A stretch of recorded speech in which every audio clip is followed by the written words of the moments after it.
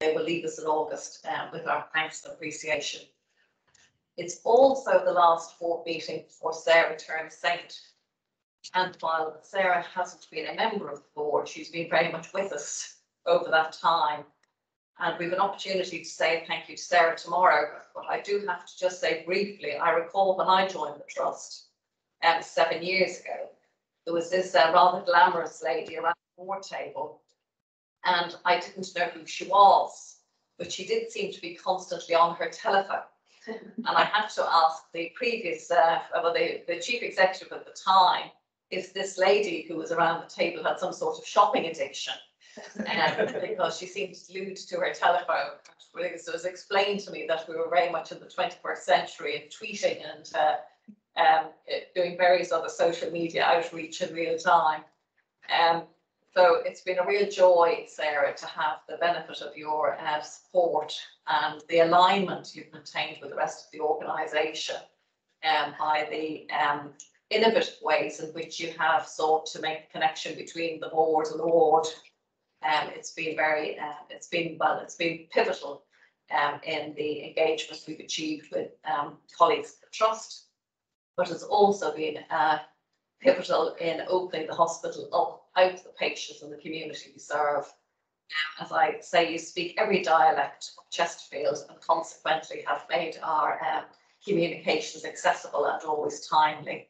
And you leave us with great fondness, um, Sarah, but that's probably enough for now because you'll be getting plenty more tomorrow.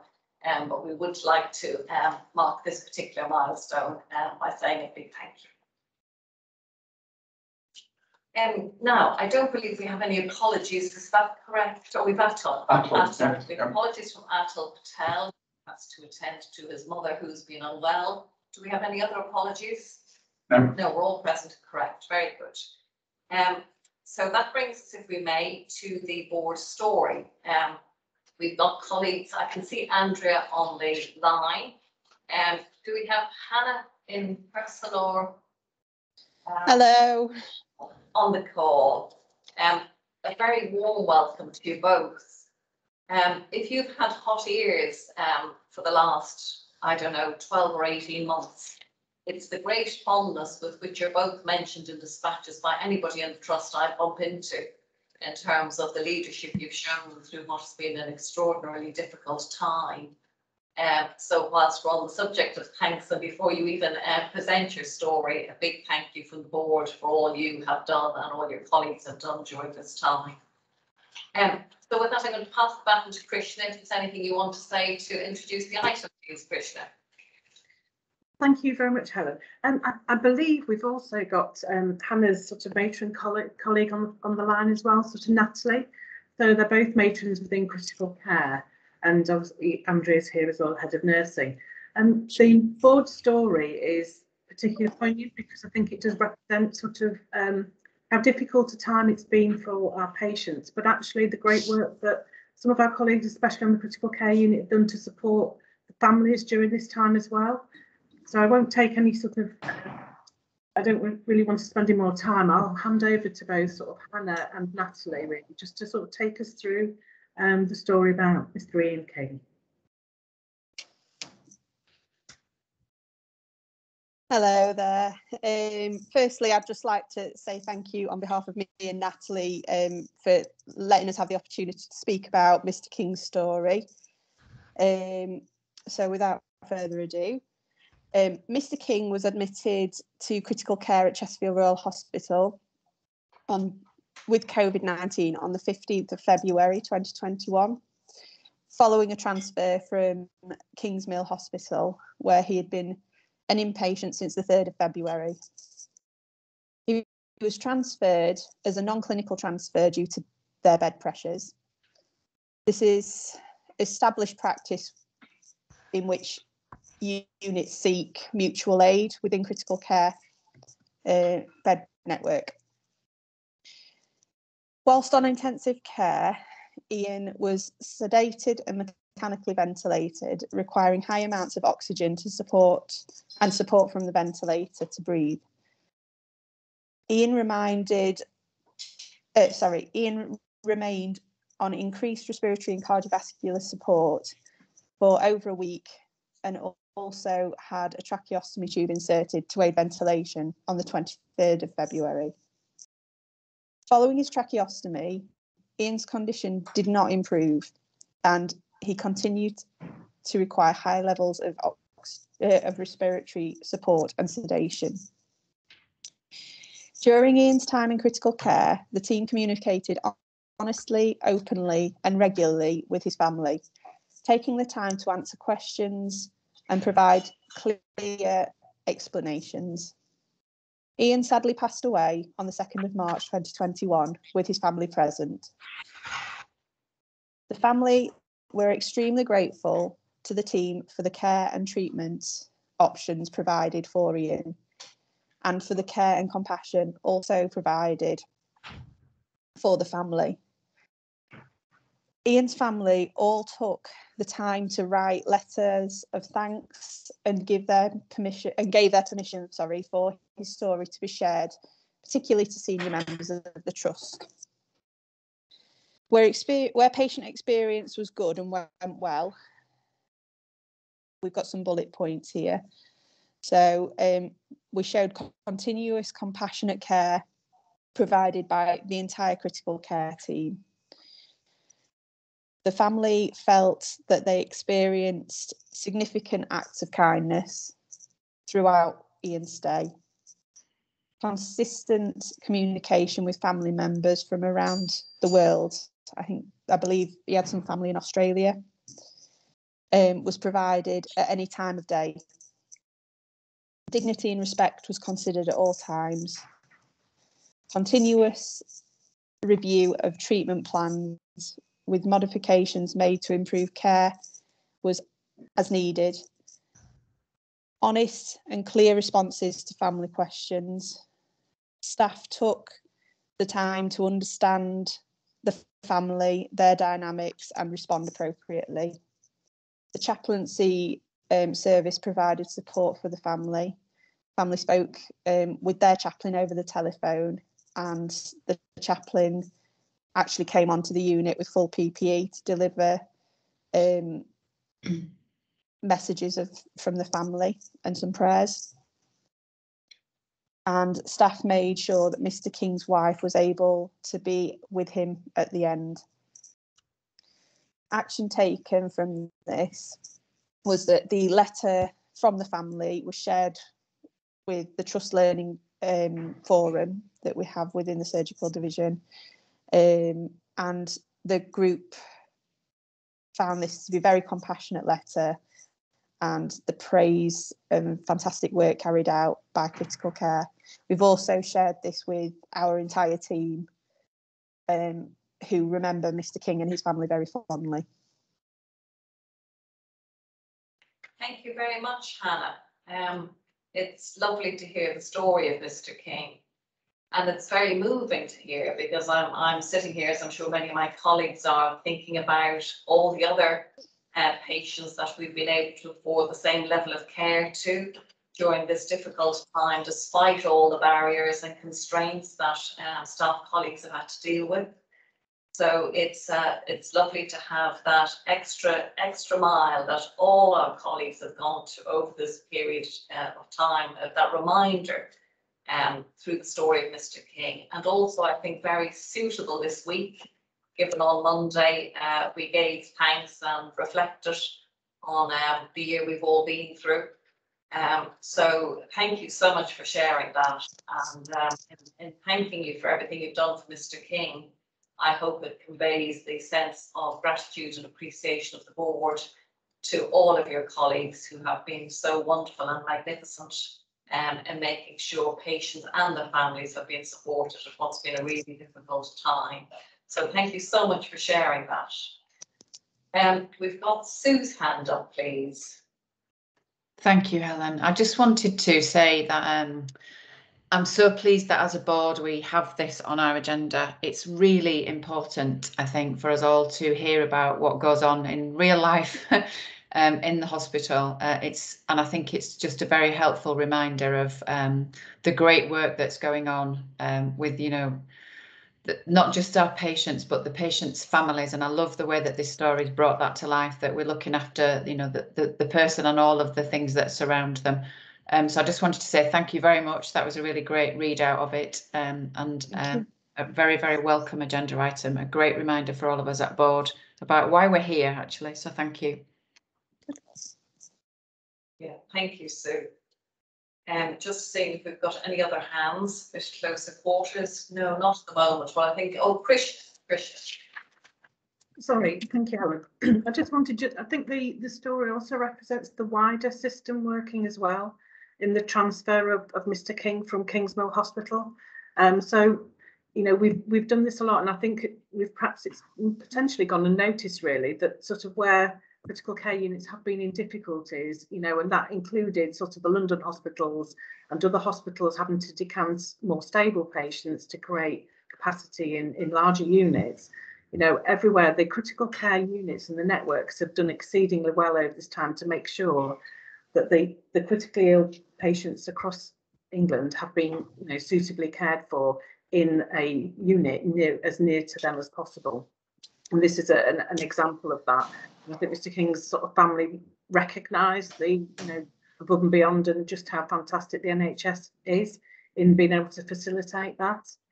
And the other thing I just wanted to draw out is, is the work of the chaplaincy. And um, I, I, absolutely know that it, it's not been the same in other organisations, but for a chaplain to come into work full PPE and you know Martin has actually done that throughout. That's that wasn't just a um, a recent thing. He's actually done that sort of to, to support the patients, the loved ones at a time of, of real need. That's been a consistent approach here at Chesterfield and very much valued by by families and also the staff as well. And I think that was just worth bringing out because that hasn't been replicated in in, in many organisations. So we're very very fortunate to have the sort of the, the sort of Martin as our lead chaplain. Really, I think we're really lucky. Thanks, Krishna. Um, Jeremy. Yeah, thank, thank you. Thank you very much for this story. It's very um, encouraging to hear about how well patients were looked after, even though the outcomes were obviously awful for many. What I'm wondering is to what extent was this typical of the experience of COVID patients in ICU? Or, you know, God forbid, did you pick this out because it's a really good story and everything else was rubbish? Or did you pick this because it's an absolutely typical case of the um, hundreds, I think, of patients who went through ITU? So we picked this story because it was a very good representation of the care that all of our patients have received. Um, you know, we it shows the whole team from the support staff to the nursing staff to the doctors um, everybody just clubbed together throughout this whole um, last year, 18 months to, to ensure that the care in such a difficult time was given to the highest standard throughout.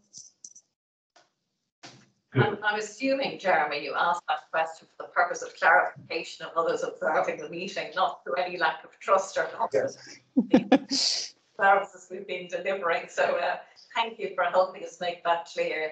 I'm going to come to Andrea and then I come to Jane and Beverly. Thank you. So I was just going to add before that question that this this story is one of um, numerous um, stories that we had from patients and families about how amazing the care's been in critical care through through a really really difficult and challenging year. And you know, I just want to say how proud I am of the teams um, who've come together and looked after the patients so well. And it's not just the teams in critical care, it's been the wider trust as well, because we've had significant support from other areas to enable us to be able to care for these really sick patients in the best way that we possibly could. So it was just a big thank you, not only to Nat and Hannah, who know how brilliant they are, um, but to everybody else who supported the teams as well through a really difficult time. Thank you very much. Um, so let's go to Jane next, please. Um, I just wanted to say what uh, we should be also thanks for staff. I recognise that this is a patient story, but um, these staff have had this experience time and time again, haven't they, through the period? And I know that we're doing everything we can to support our staff, but I think we just need to recognise the impact on staff as well. So they've given great care. But there's a personal cost to those staff as well. And we're doing quite a lot, aren't we, on health and well-being of our staff.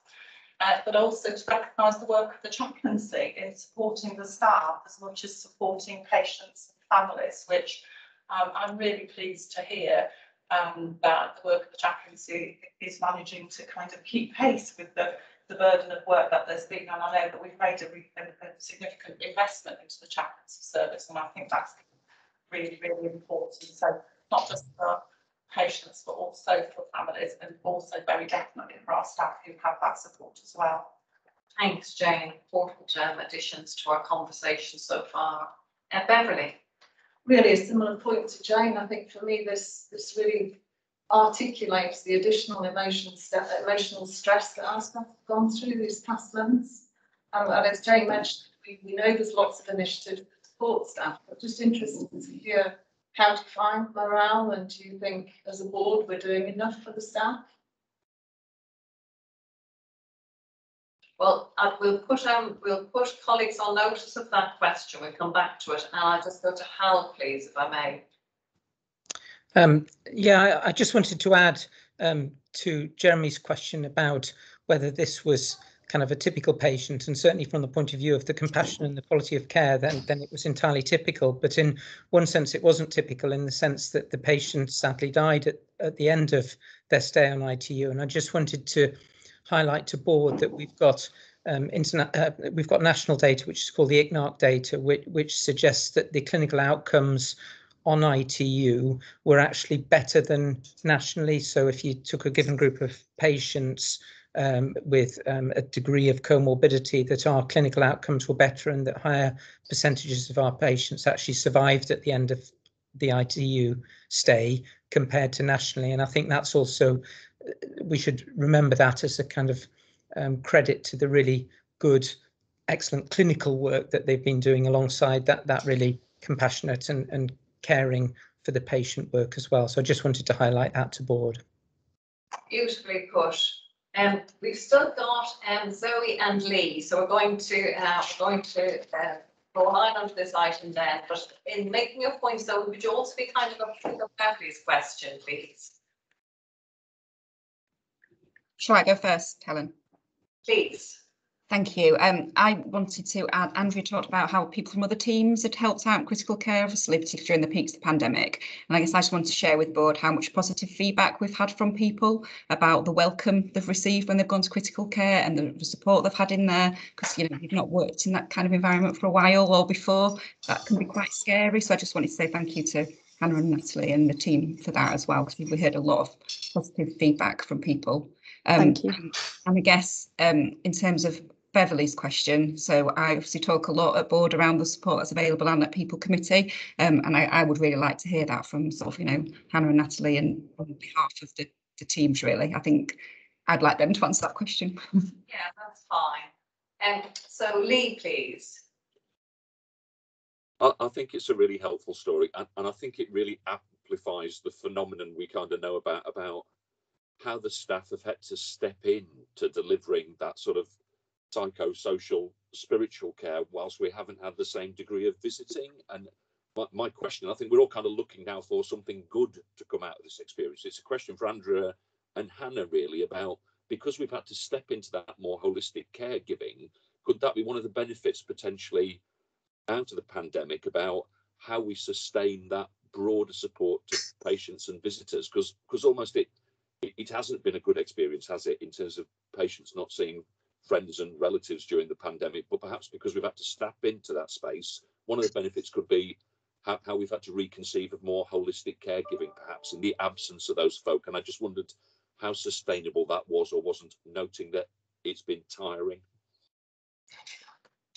Thank you very much. I much. think We haven't heard from, we haven't heard from Andrea. So Andrea, I wonder if you'd like to kind of maybe conclude the item for us and um, Zoe's put down the challenge of what she's told us about at board about what we've been doing for colleagues. It'd be good to know from you whether or not your colleagues are feeling that.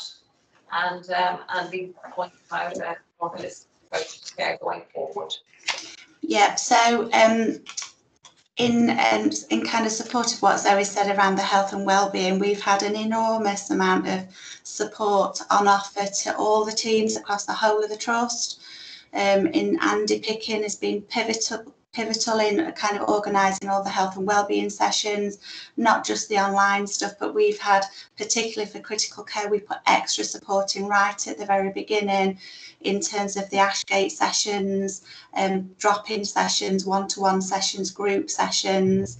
And I think as we kind of came out of the pandemic as well, as we we're coming out, um, Hannah and Nat and the team have been able to do some kind of team working with, with the staff, some kind of restorative work um, to kind of keep people well and healthy and happy and kind of grounded around what's happened as well because I think it has been an experience that none of us were expecting to have, and it's been a difficult time. But I think, you know, some of the staff that were wobbling as we kind of started to come out, um, after we've had these kind of time out sessions, have really come together and, and actually gelled as a group and are actually, you know, looking forward to moving forwards, if you like, with the knowledge that we've had coming through the pandemic and using that in a really positive way to move forward. So I think the, you know, the health and well-being um, on offer has been amazing, absolutely amazing. And I can't think what else we could have offered really because we've had everything that we've needed. It's, it's been absolutely fantastic.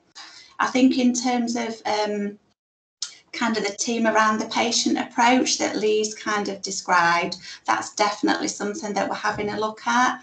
Um, I think obviously all the B nurses have now gone back to their own clinical areas, and that is absolutely the right thing to do because the rest of the hospital is very busy as well.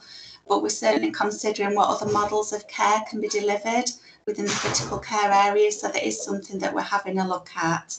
Um, we've, we're in a fortunate position at the minute that we've been able to recruit a number of um, extra staff to critical care, and um, whereas previously we might have had a few gaps, we're, we're inundated with people wanting to work in, in the units at the minute. So that's a really positive position to be in, but recognise that workforces do change as, uh, you know, and we have learned on the back of the pandemic.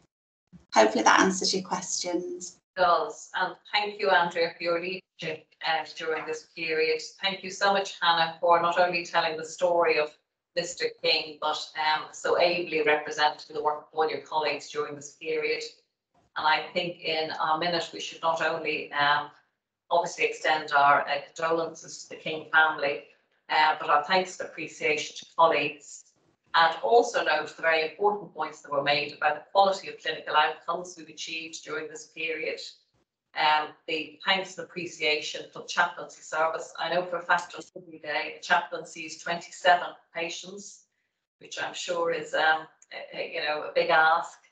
And, uh, and also the point that Krishna um, drew out that this is not only about Chesterfield responding in a good way, but Chesterfield playing its full part as a system player and working across um, systems into Sherwood, um, giving real life to the concept of provider collaboration.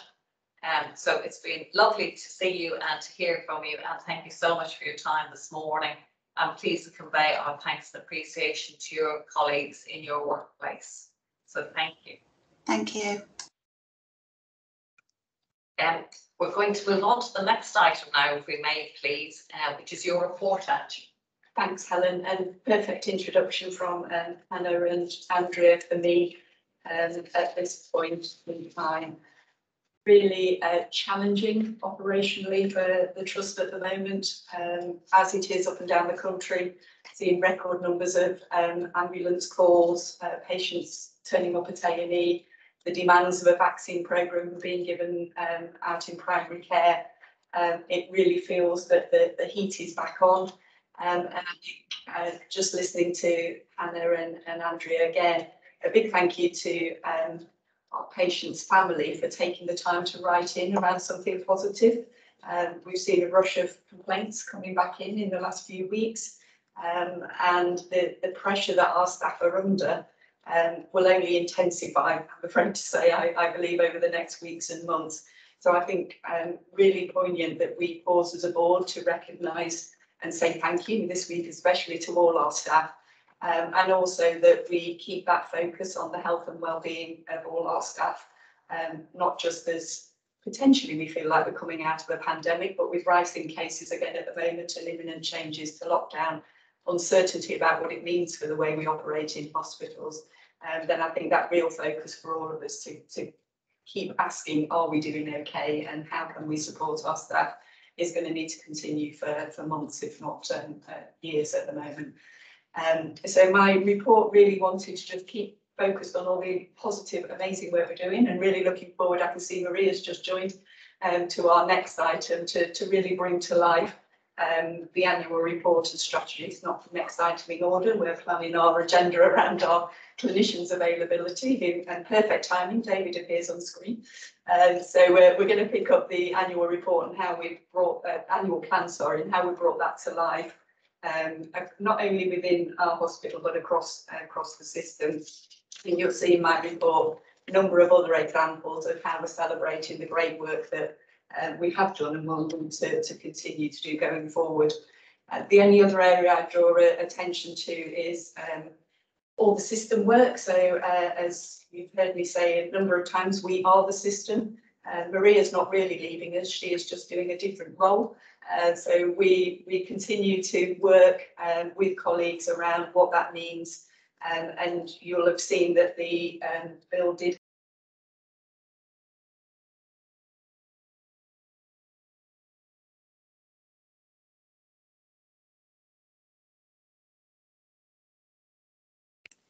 Angie, you've flipped onto mute.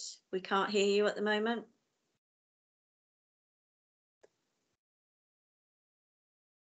No stuff out of his hands. there's a, there's a gremlin in the room. No, none of us moved. When you start talking about legislation. Really strange. Well spotted. Listen to ICS conversations, aren't you? But um, uh, probably more, as Jeremy says, legislative conversation. Uh, but I was just going. I was just saying that the bill has been um, uh, put before Parliament, so the time frame for getting that uh, ICS legislative changes, uh, we're told, still on track for April next year. However, um, I feel we are working in a way that is moving towards that in Joined Up Care Derbyshire anyway. Um, the challenge for us at the moment is how we do that dual running and exactly what it will mean next year. Um, but they were the, the areas I wanted to draw attention to and happy to take questions, comments now or as we talk through some of the agenda items. Thank you very much, Angie. Um, does anybody have anything burning that doesn't come up on subsequent agenda items? Alison. Thanks, Helen. I just wanted to follow up uh, Angie's comment with my attendance at the Joined Up Care Derbyshire transition meetings um, and just to say that that assurance committee um, is receiving information on the transition arrangements and is aware of the, the slightly delay there has been in publication of the legislation um, but, and is having active reviews of the plans um, and asking the team, the Joined Up Care Derbyshire team, to prioritise what it needs to get done from a legal and legislative and financial point of view to enable the transition to take place um, and prioritise some activities that might need to slip past April next year. So just to update uh, board colleagues.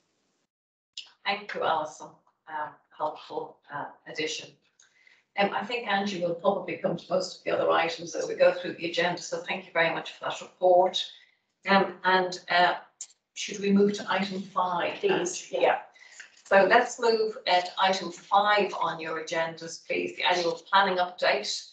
And on that, if we may welcome some colleagues, um, Maria, Maria Riley, Claire Carson, David Shipston and Kate Linton. Um, and thank you for making time. I know you're all busy people. Uh, before you kick off, we should of course um, recognise that um, today will also be Maria's last attendance at uh, Chesterfield uh, Royal Hospital Board in her current capacity. Um, and just to say that we're so pleased not to lose you from the system. Um, you know, you your your reputation goes before you. The quality of your work is always superb. Um, the quality of your challenge to our thinking and your real desire to see us innovate and improve has been hugely pivotal in getting us a single um, systematic approach to quality improvement. And we all know that all great organisations have just that.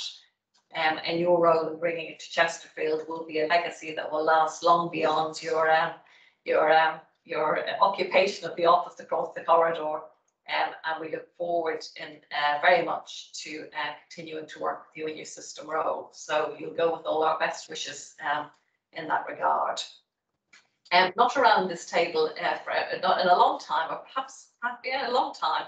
Perhaps even the first outing for David Shipston and Kate Linton. David is consultant urologist, as is Kate.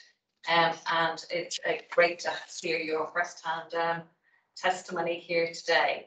So Berenice, do you want to lead off? Thanks very much, Helen, and uh, and well said hear hear around uh, around Maria. Um, and it, what's great is that she absolutely will still link with this organisation and uh, steer the ship around uh, improvement and transformation, which is fantastic. Um, just to, to further, Berenice, I've just realised that I've got Claire on my on my paper, but I can't see Claire on the screen. Is Claire Carson with us? Yes, she is. Claire, a very warm welcome to you too. We have the benefit of your fabulous attention to detail and your amazing approach to reporting, meeting in, meeting out without often seeing you. We can't see you today either, uh, but we're very pleased you're with us. So um, certainly didn't mean to overlook uh, a warm welcome in that regard. So apologies, Berenice. No problem at all. Um, so I'm not going to say very much at all because the, the the team are going to do a presentation. So it's it's basically going to be led off. We've all received a paper in your packs around the the operational planning update, and this is absolutely credit to uh, Maria Riley and Claire Carson who've been instrumental in providing our information and our narrative around the plans that we want to take forward for this organisation very strange year. We've had we've done the first six months, um, and it's now about planning for the next six months. Uh, and Lee will come on later on to talk about some of the financial arrangements. Maria's going to take us through that, that, that paper and just some key highlights.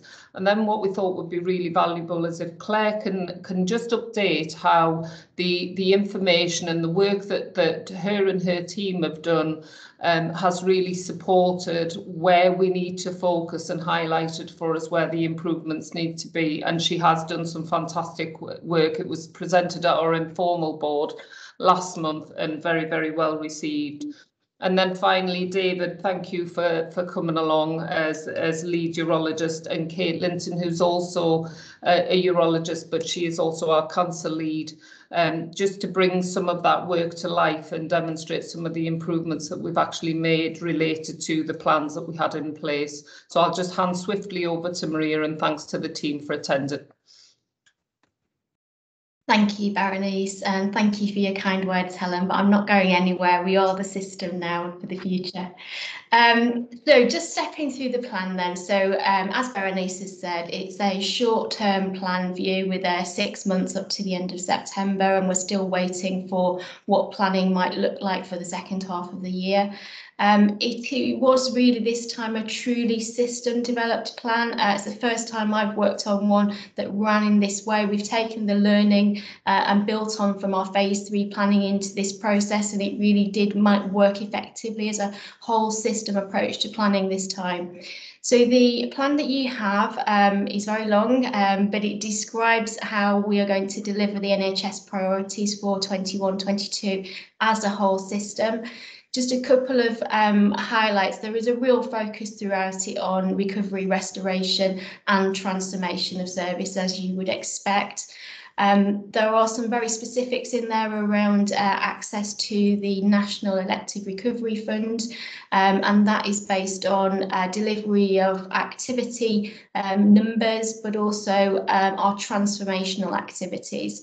Um, we submitted a compliant plan, and so far we are on track to uh, deliver that compliance both in terms of the activity numbers, but also in terms of the expected transformation. We saw yesterday our first self-assessment from NHS EI in terms of our May activity, and there were a couple of, that was really positive actually how they'd assessed us, a couple of amber areas where we've got really robust evidence and they, we've already sent that back to them. So we're really positive about the action that we've been taking in delivery of the plan to date. Um, as Berenice said, the key challenge in trying to present to you a 107 page, 40,000 word document and bring that to life, what we decided to do was to focus in uh, on a couple of areas that are really important in delivery of the plan. The first is the how we do our restoration and recovery. Um, there's a real focus on our clinical prioritisation in uh, addressing long waiters and balancing long waits versus clinical priority, but also um, addressing health inequalities. And Claire's been doing some great work, which she's going to showcase you just one of the tools that she's been developing. And then um, underpinning all of the delivery throughout the plan um, is the brilliant work, um, the engagement of our clinicians. So David and Kate are going to talk you through how they effectively managed the, the urology service through wave two to place us really well for restoration and recovery. Um, the improvement work they've delivered despite the challenges of COVID and, and the impact that's having, and then the really ambitious forward plans they've got for their service over the next 12 months. So I will share share a slide set and hand over to Claire.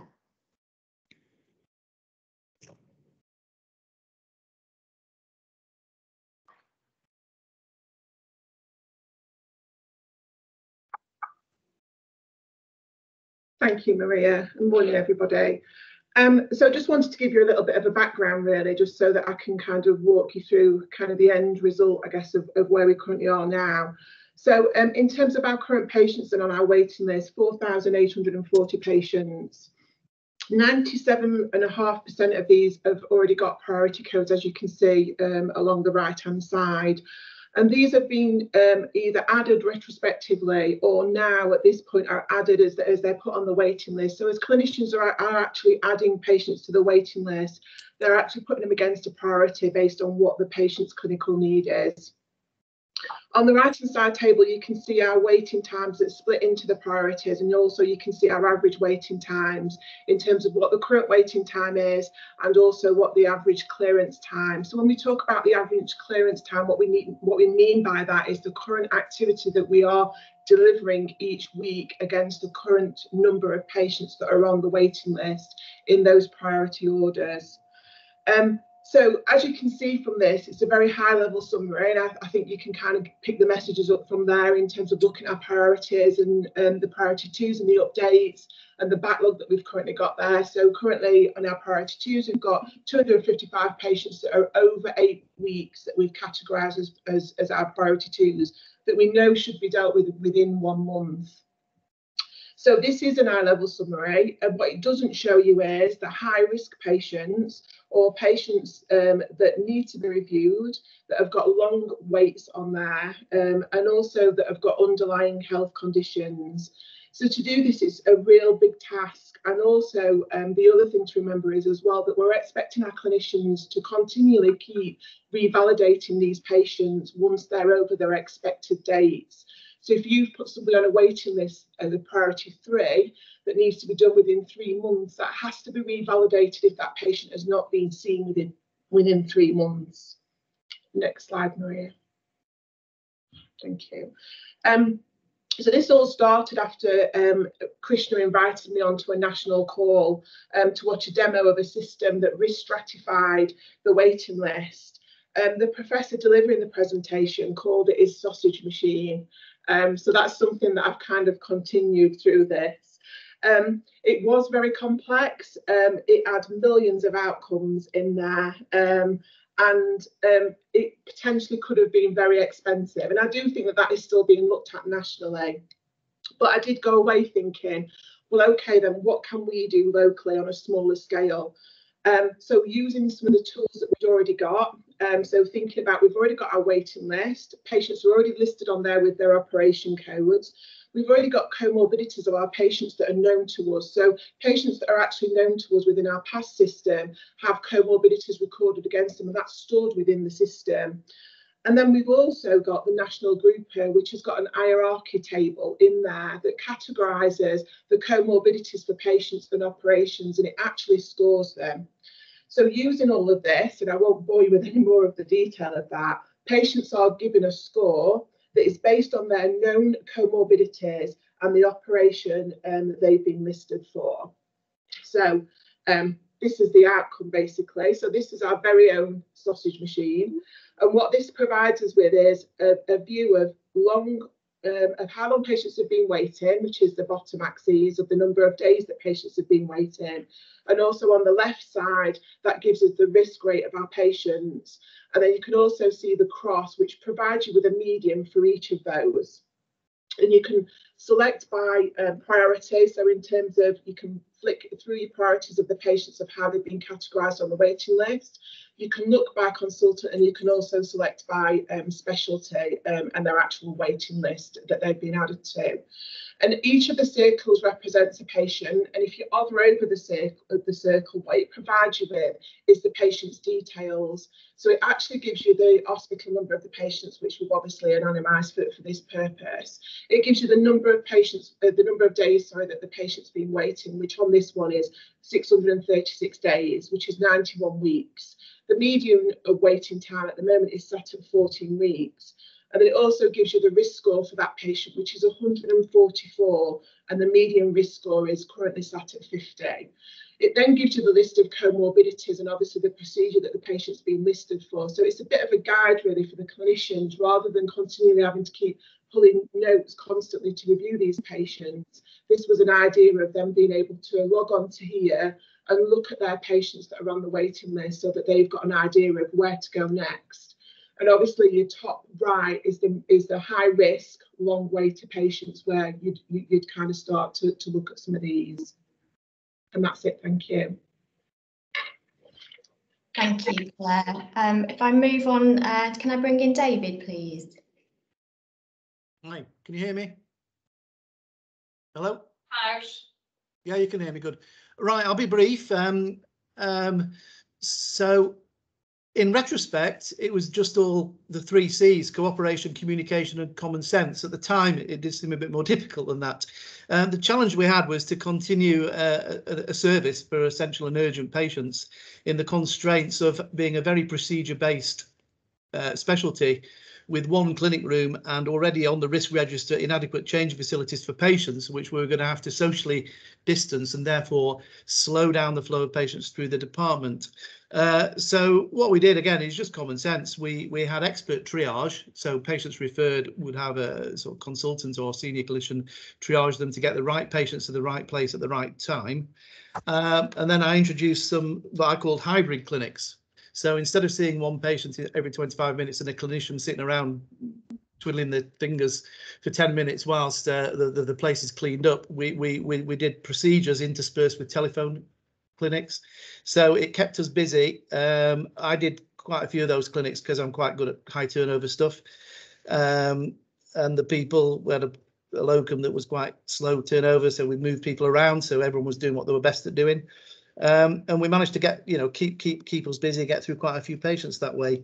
Um, the other thing we we set up was the hybrid MDT meeting. Um, so IT and uh, came and helped with that. Initially, we, did, we had quite a few meetings using mobile phones and hand signals when the sound went off, but uh, I think we've come a long way since there. And the fact that I'm currently popping into this meeting, I will be contributing to our MDT meeting this lunchtime and I'm actually doing a telephone clinic all from home because I'm socially distancing, uh, having had a COVID contact. I think just speaks volumes of how far we've actually actually come. Um, so if the next slide, please, and I'll be that's my last slide. No, almost my last slide. Um, the that that describes really the front end of the patient pathway, seeing them in clinic. Uh, some of our patients, of course, need operations challenge there was half the theatres were being used for ITU and half the anaesthetists were uh, either sleeping or in the hospital on on call. So we had a vast reduction of theatre capacity.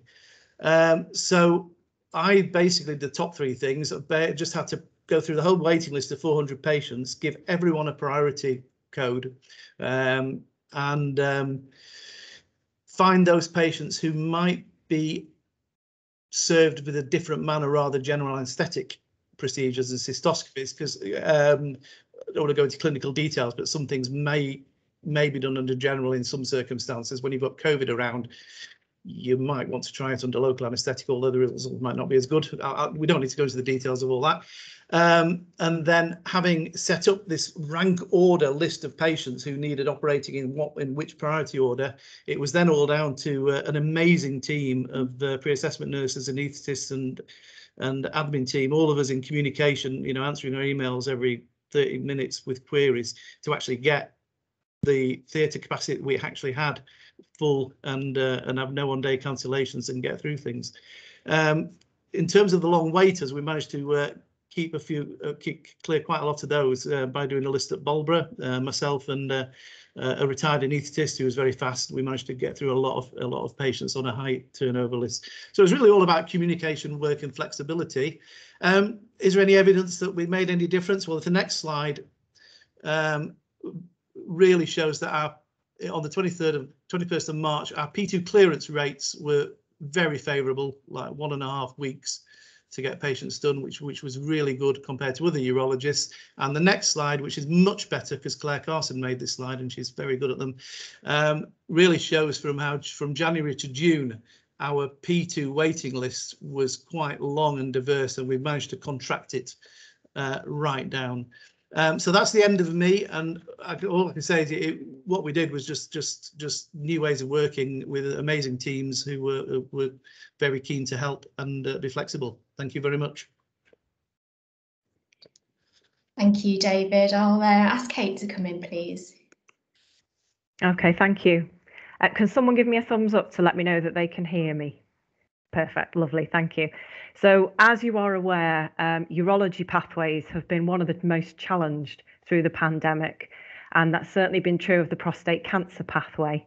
As you know, we're mandated to diagnose uh, prostate cancer patients within 28 days. And that's been a real challenge through the pandemic uh, for a number of reasons social distancing.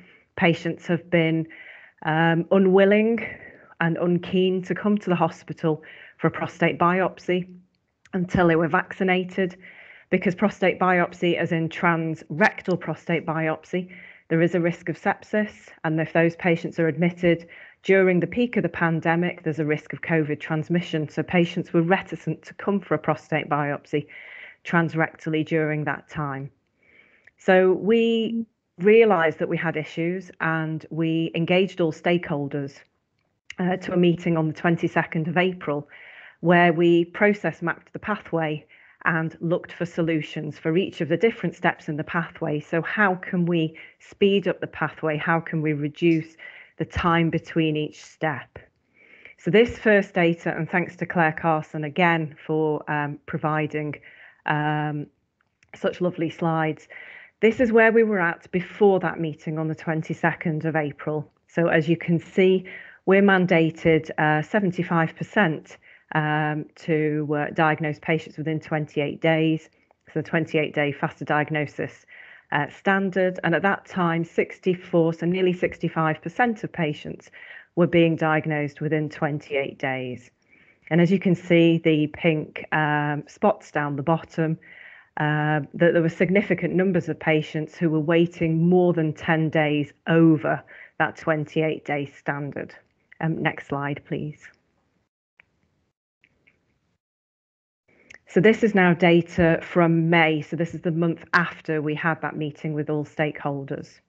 And actually, you can see that although the number of patients diagnosed within 28 days is not much different, so six, about 65 and we've got 61%, I would say that's within common cause variation. So the natural ups and downs, peaks and troughs that you will get in that kind of data. So essentially very similar. And again, similar numbers of patients in the pink spots down the bottom, um, waiting uh, up to five days more, up to 10 days more, or more than 10 days. So next slide, please. Thank you. So these two uh, data slides are the most important ones because they show the great work that our Assistant Service Manager, Nicole, and our um, navigator, uh, Laura, um, did some fantastic work and have really made a difference for patients. So before that meeting in April, you can see that uh, so down the bottom in the pink squares is the number of days between each, each of the different steps within the pathway, with the pink circle at the bottom right so, showing that the average wait for patients along that pathway was 76 days, so a far cry from the from uh, where we should be. Um, and if you look, if we look at the time from telephone to biopsy, so the 33 days, um, square. So I'd ask you to keep that in your mind as we move to the next slide, please. So this is now June, this is validated data, and this shows the great work that Nicole and Laura and others, but particularly them, have done. So we can see that our average has come down from 76 days down to 35 days. So we're still not quite at our 28 days, but we have more than halved the pathway with the great work that they've done. Um, and if you look to where, um, so where the pink box that was 33 days, it's now nine days. So the time from the telephone call to the biopsy. So we have made at all steps in the in the pathway significant reductions in the amount of time that patients are waiting, and we've more than halved the pathway. Yes, we're not at the 75% for the 28 day for FDS, but we're getting there. So I see this that we've made some great steps in this pathway. And uh, next slide, please. And this is my final slide. So ways that we are um, innovating and improving and developing services. So through the pandemic, I've already told you patients didn't want to come for transrectal prostate biopsies because of the risk of sepsis. So we have moved to a local anaesthetic transperineal biopsy. So this is something that is uh, nationally led. Um, Derby are looking to do it, and I've actually been chatting to them about how we've implemented it. How we've implemented it. So we are now doing prostate biopsies in many patients, local anaesthetic, transperineal, so a tenfold reduction in the risk of sepsis. And we can now target all of the prostate as opposed to just round the back from the old way we used to do our biopsies. This is a major uh, way forward. Uh, I'm really pleased to say that we're doing this. And, uh, and yet we've been doing this for a couple of months.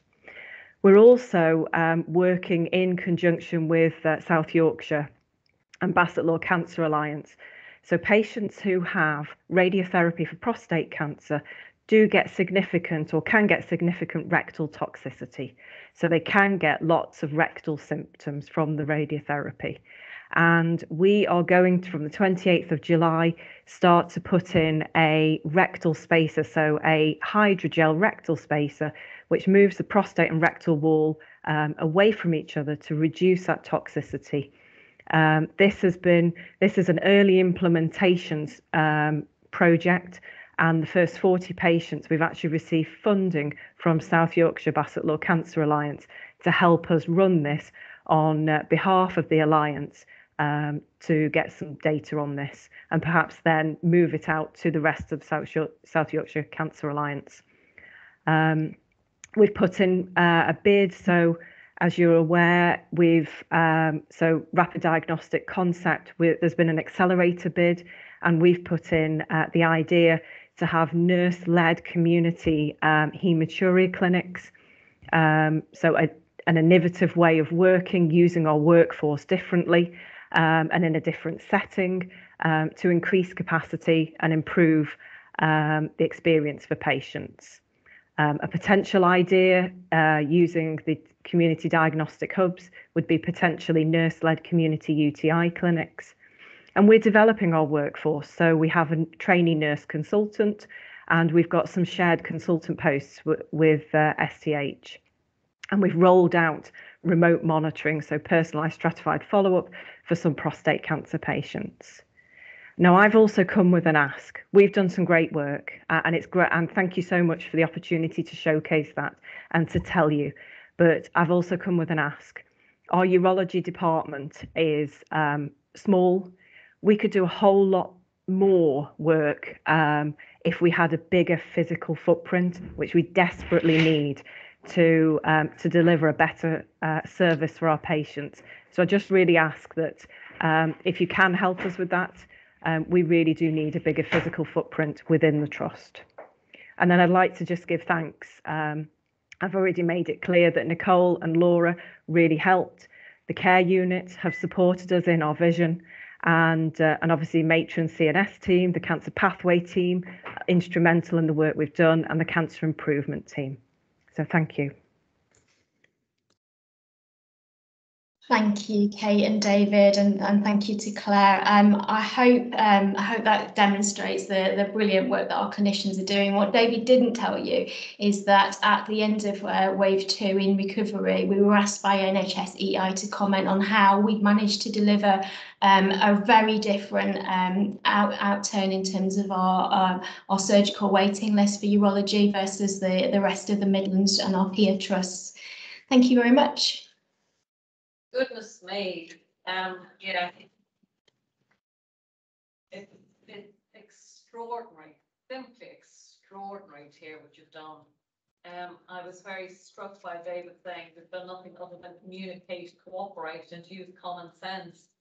And I would say back to you, never has that recipe required so much of so many people, but to such good effect.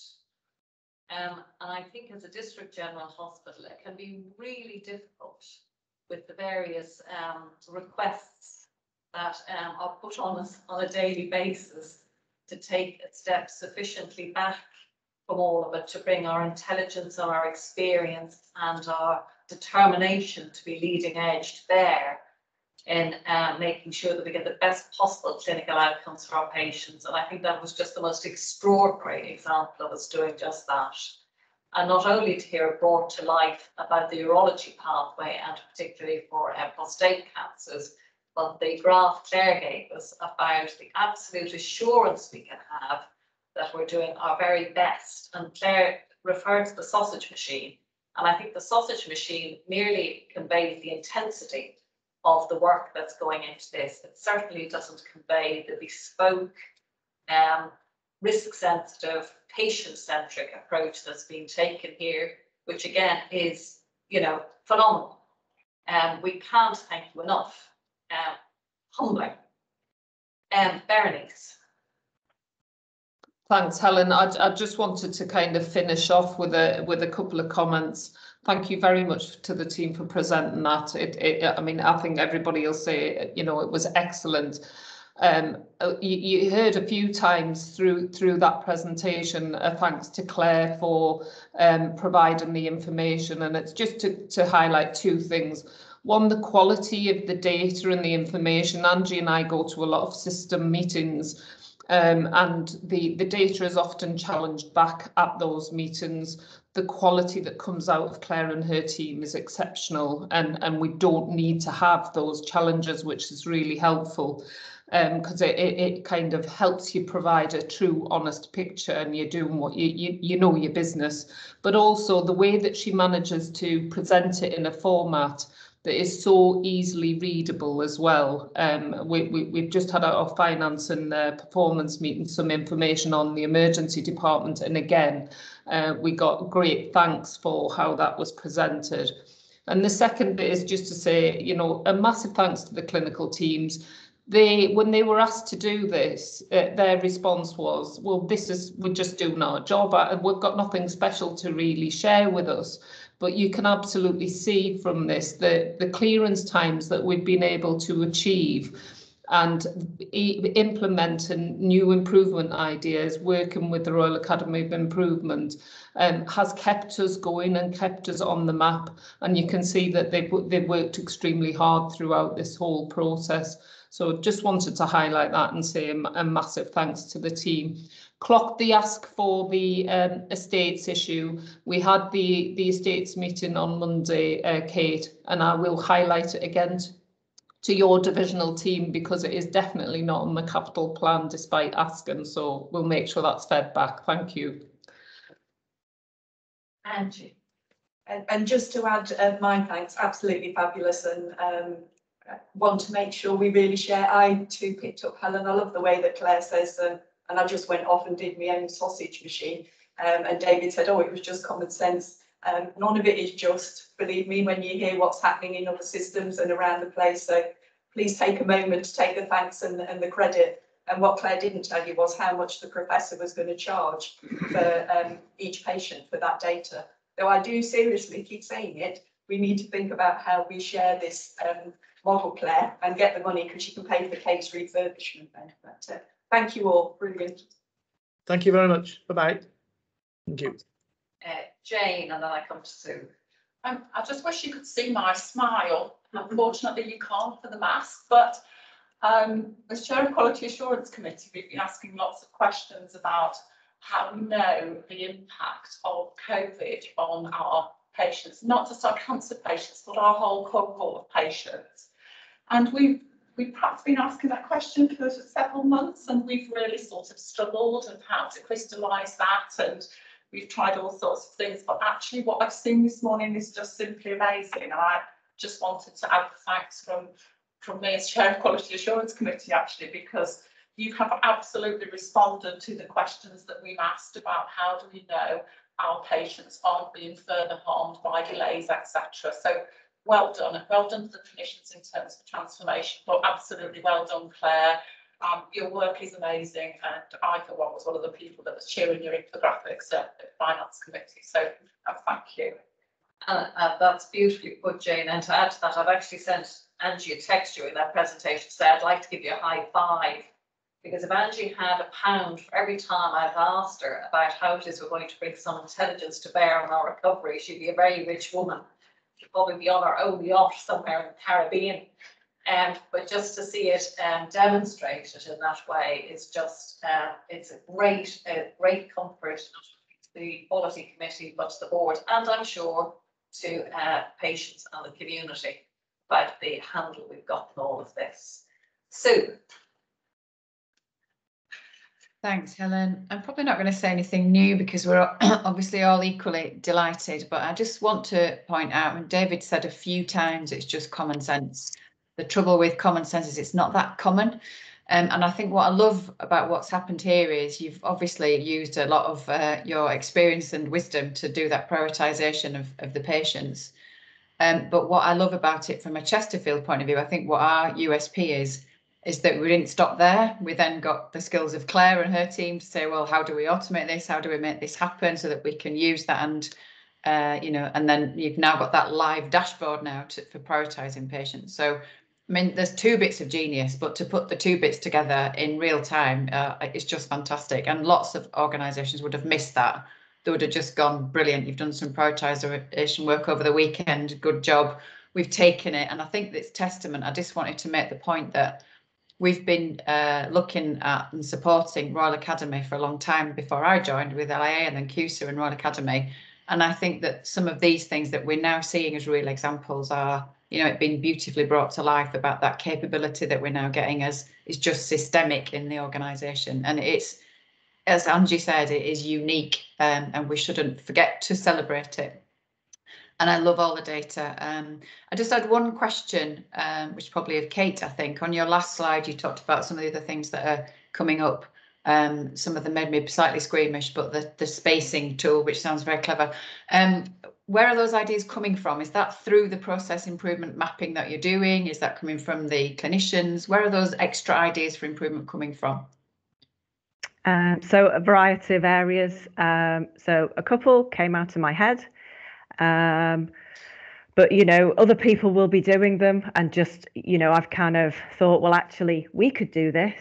Okay. Um, some of them are so the spacer, um, so that's come from our oncologist, and that's come from data showing um, high levels of rectal toxicity at Sheffield, and so he's um, kind of said, look, want to do this, and um, and so you know and, and so i and others have said yes let's do it. Let's let's try and implement this. Um, so a variety of places. Thank you. And i think yeah my final point really was um, data data data data. So i mean we all love claire and her fantastic abilities but it it drives everything doesn't it? And i know the the team under maria's have said that to me in one of the previous sessions was we just the data has to drive what we do. So it's so encouraging to see this. Um, so thank you all. Brilliant. Um, I'm going to draw a line there, uh, conscious of the time. Um, Maria, Claire, David, Kate, a huge thank you. But I think the final word of thanks needs to go to Berenice. Um, this is an example, uh, if one was needed, of a chief operating officer getting to grips with what is going to be our greatest challenge in the period of recovery um, post and through COVID. Um, and we're very grateful to you, Berenice. Um, so it's, um, yeah, it's a big thank you all round. Very well done. Um, so my suggestion is, given the amount of time we have taken, we've used an hour and ten minutes on two presentations. I'm going to suggest we keep going on the agenda because I'm going to use item four as presenters from all the presenters right for our board members. So we'll be able to cut our cloth as uh, as it's required as we get to the end of the meeting. Um, for any rapid exchanges we need around that, but I want to do full justice to um, to uh, the other items and uh, keep along with them.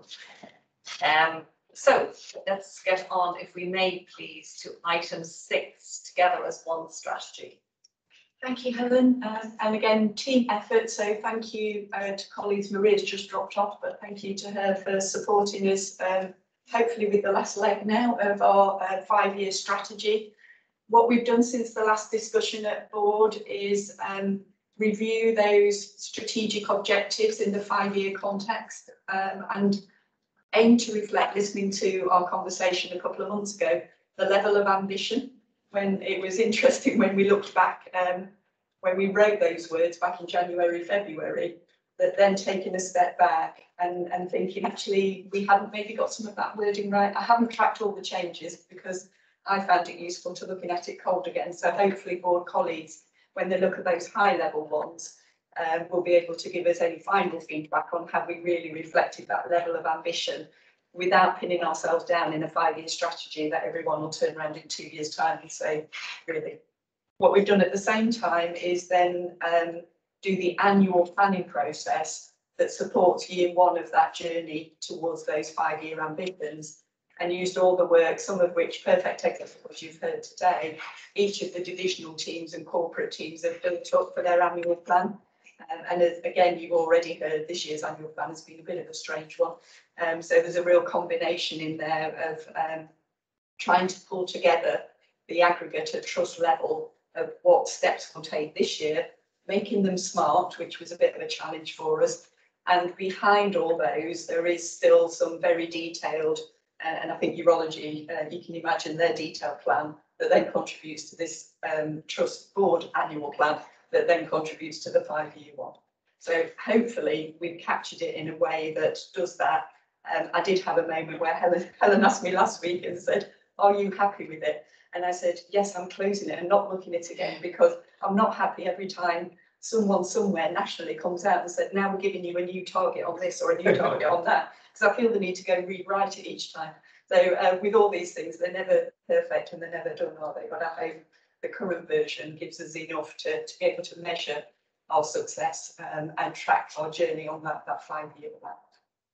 Splendid, thank you, Angie. So uh, we've got um, a request to approve the um, objectives as set out for 2021 as the first year step towards the 21-26 uh, journey um, with the context Angie has just given us.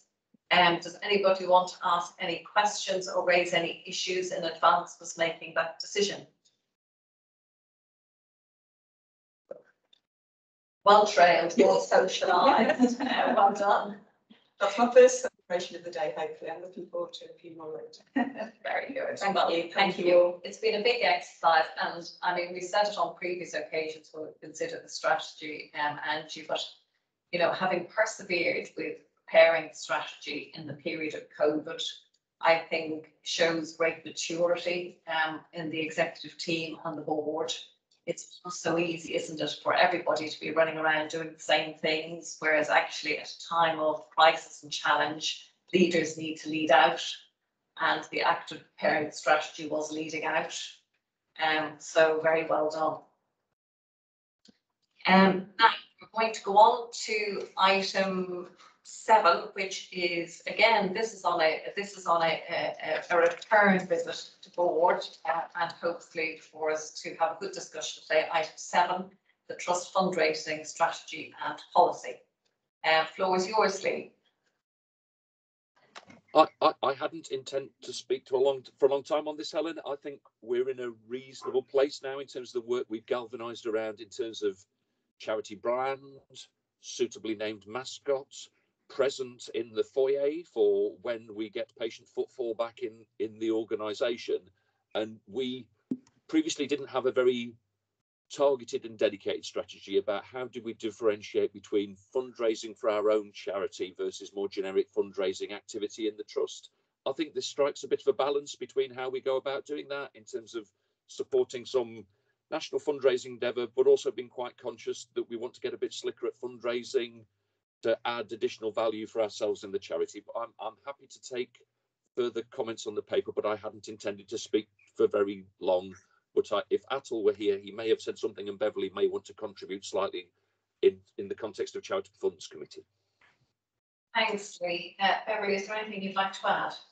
No, I think this is well rehearsed. It's been to, board before, and it's actually very timely with the launch of the appeal for their staff health and wellbeing. So I think the staff need some clarity. I think we could put more effort into comms to the staff. And The charity is actually cross-charged for comms work, so I think we need to make sure that we really drive that now and staff recognise the, the value the charity brings. I mean, some years we've put a million pounds back into the trust and that represents dozens, if not hundreds, of projects that staff brought to us. So it's a fantastic tool, tool for staff engagement. So no, we welcome this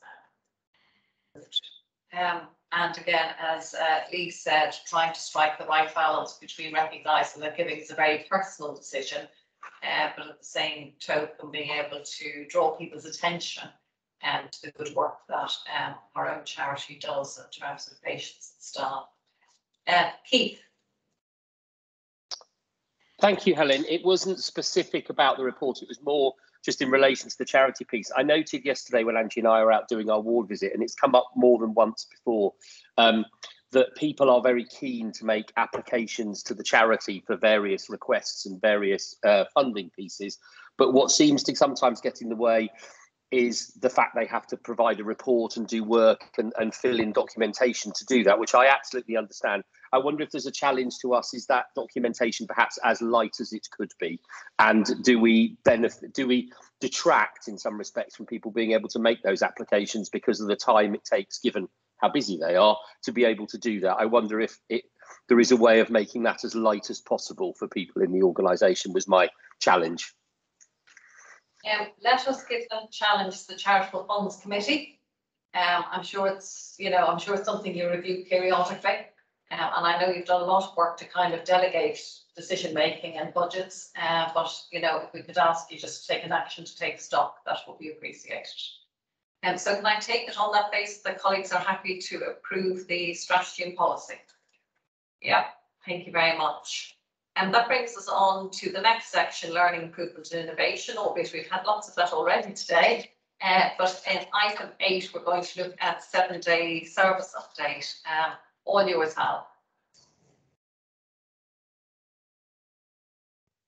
Um, thank, thank you. Um, apologies if I keep glancing to the right. That's because I've got the papers on a different screen. Um, so the, this was um, a request from board to update us uh, um, all about where we were with seven day services. This was following on from um, just prior to COVID, um, board, uh, or, or, just at the very beginning of COVID, board approved some extra financial resource in order to try to help us with um, compliance with national standards because we were repeatedly falling short with compliance, particularly around two items. One was um, time to consultant review, where there's a, a standard that 90% of patients should be seen within 14 hours of admission to hospital.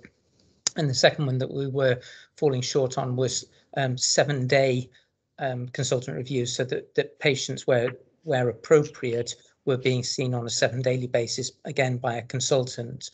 Um, we um, noted that there was a shortfall in our ability to do that because of um, consultant numbers, particularly around acute care consultants. Um, related to that, um, board agreed that we should invest in some extra consultants because the seven day service standards are very specific to consultant um, input. That's not to say there's not lots of other workforce developments going on and alternative um, work um, streams, whether medical nursing or, or um, uh, roles like ACPs and ANPs and so on. But this this particular item is around consultant work. Um, so that that money was agreed and what's happened since then is um, two things one is that um, uh, COVID kind of put a bit of spanner in the works in one sense, in that it delayed a lot of the engagement work that we were doing around that, where we were trying to win the hearts and minds of the consultants um, who fundamentally, um, you know, if you ask lots of people, well, do you fancy working on a Saturday and Sunday extra? Lots of people would say, well, no, thank you. Um, and then the second thing is it actually did um, changed the way a lot of um, medics, nurses and, and everything as well, but medics as well worked at the weekend. So we went on to much more of a kind of seven day services model, both for junior and for senior doctors with much more involvement of consultants at the weekend. And that, and that did um, show uh, sort of significant benefits, I think, really from the point of view of um, things like length of stay, um, and um, I, think patient outcomes as well. One of the difficulties is it's terribly difficult to disentangle what was related to COVID and different ways of working um, and patient behaviour with COVID and what actually happened in in um, what happened as different because of the way we were working. Um, that that uh, model of working with um, the consultants and so on coming in much more at the weekends kind of isn't really wasn't really sustainable from the point of view of um, that being a kind of long-term solution. The, the, reasons for that is that um, during the COVID peaks, no one was allowed to do anything anyway because we we weren't allowed to go on holiday and you weren't allowed to go out and so on. So people were less concerned about working weekends. Um, and but the additional thing was that people can often work really hard for a short term, a bit like we talked about critical care earlier. You can manage it for a short term, but if you're asked to do it as an indefinite thing, people do get get burnt out. So in um, April time, we went back onto the normal kind of um, rotas and reverted to doing um, the engagement work and the recruitment that was needed in order to progress seven day services in the kind of in the longer term in a more sustainable way. Um, and this this paper um, kind of highlights the work that's being done um, the and then the timetable that we've drawn up from the point of view of um, actually implementing this in the hopefully relatively sh short to medium term. Um, I think um, Mansa has joined the call. I'm not sure if I can see him on my list, but um, Mansa's the divisional director of medicine, which is where a lot of this work um, is needed to be done. And, and he was going to just update and give a little bit more um, colour, I think, if he's here to, particularly around the engagement work that's being done with the um, consultants. Man Mansa, are you on yeah. the call? So thank you, Hal. So just to add to what Hal has said, um, we made a conscious decision to rekindle these discussions, and so the project group that was was was in place before COVID is, has now been um, resurrected, and we as a, as divisional team have set up a, a project group to look at um, implementing with a view to trying to have something in place um, by the end of the year. Um, that's our sort of stretch target if you like, what we have found is that the engagement work is is taking up a lot of time in terms of persuasion and healthy discussions around the margins. And I think that the positive news I would say is that the the bulk of our consultants are very supportive of moving to a seven days so some of the challenges that we're faced, just to give you a little flavour, is that we've got some consultants who traditionally haven't worked at weekends, so that's requiring uh, an element of of um, strong discussions and persuasions. The second element is that we're asking some of our clinicians to increase their frequency of work at weekends. So, for example, most consultants would expect some commitment on a one in eight basis, and we're asking them to, to move to a one in six. But having said that, there are lots of benefits that we could use to, to persuade um, and to influence.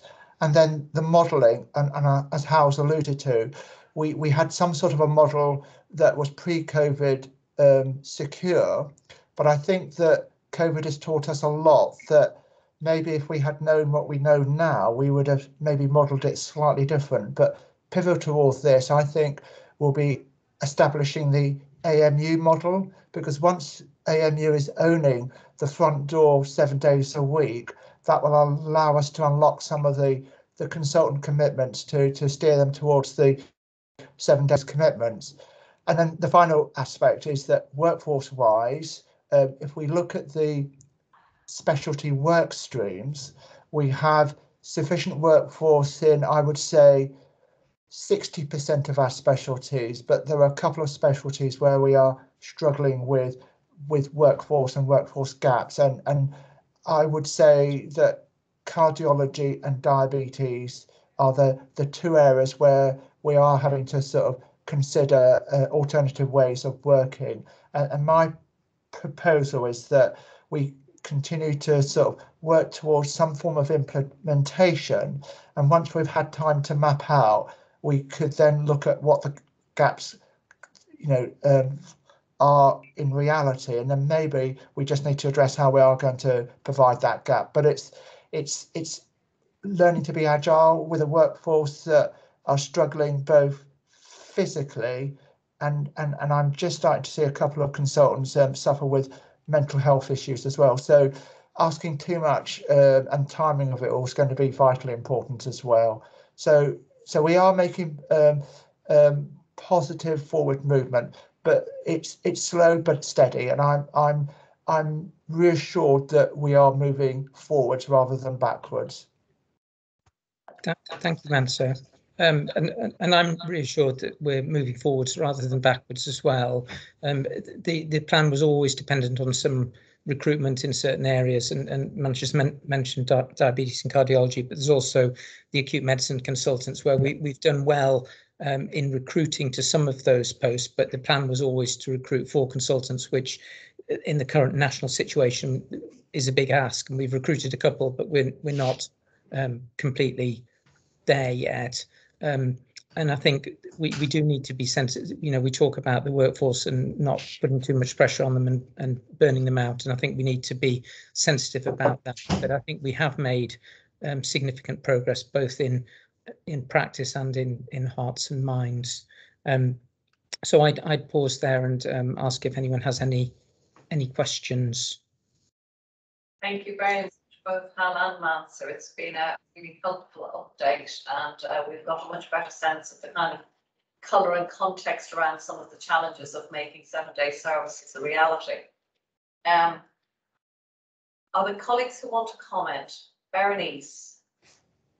Thanks, Helen. Yeah, I, I, just wanted to say massive thank you to both Hal and uh, Mansa. So, so it's it's okay, kind of um, providing us the funding to go out and do the recruitment, um, and and actually say, great, we're we're going to take seven day services on board. But it's a very different thing altogether to to to have discussions around changing job plans and actually moving people from the, the notorious doing Monday to Friday with some on call to actually being there seven days a week um, and the massive work behind the scenes that both Mansa and Hal have actually done with our consultant colleagues um, in, in negotiating and having those discussions that moved them on a long way. So I just wanted to add that in. Thank you. And, and I, I, should recognise the work that Kathy Butler's done alongside it as well, because she's sort of um, our, the finance um, partner within medicine's taken this on as a, a, kind of project to help with it, and she's she's been absolutely great with it as as, as well. So I just wanted to men mention her work thing that Mansa said that really struck a chord with me was about how you're cajoling and persuading and influencing your colleagues to move pattern. And you said, but we can show the benefits. And you weren't on the call, I don't think, Mansa, earlier when we had a fabulous, fabulous presentation about bringing data to bear and making risk-based, patient-centric decisions. Um, and I appreciate that seven-day services over the kind of life that they've been around, which predates me, has become somewhat formulaic. You know, this sort of category of patient gets this sort of follow-up at this sort of frequency. And I just wonder as a kind of intermediate step between where we are now and where it is we're trying to get to, which of course may be beyond uh, compliance with those national uh, standards. I hope it is. Um, but whether or not we might be able to bring more data and information to bear to make more intelligent decisions about what's the optimal deployment of an already stretched workforce. Because, you know, that earlier presentation was all about kind of bringing our intelligence and experience and good judgment to bear on the basis of high quality data and an ability to manipulate it and use it. Um, so I just, I would, um, you know, commend that approach to you as part of this. But the other thing I'd say is we just can't give up on this. We can't give up on it. You know, uh, talking about having a pound for every time you discuss something, you know, we've all been talking about this since we were girls um, and boys, let alone men, men and women. Um, and it's just such a big prize, isn't it, in terms of the potential impact on clinical outcomes you can't come to hospital on a Friday and malinger and malign in your bed until a Monday unless there are particular triggers for you needing to see somebody urgently.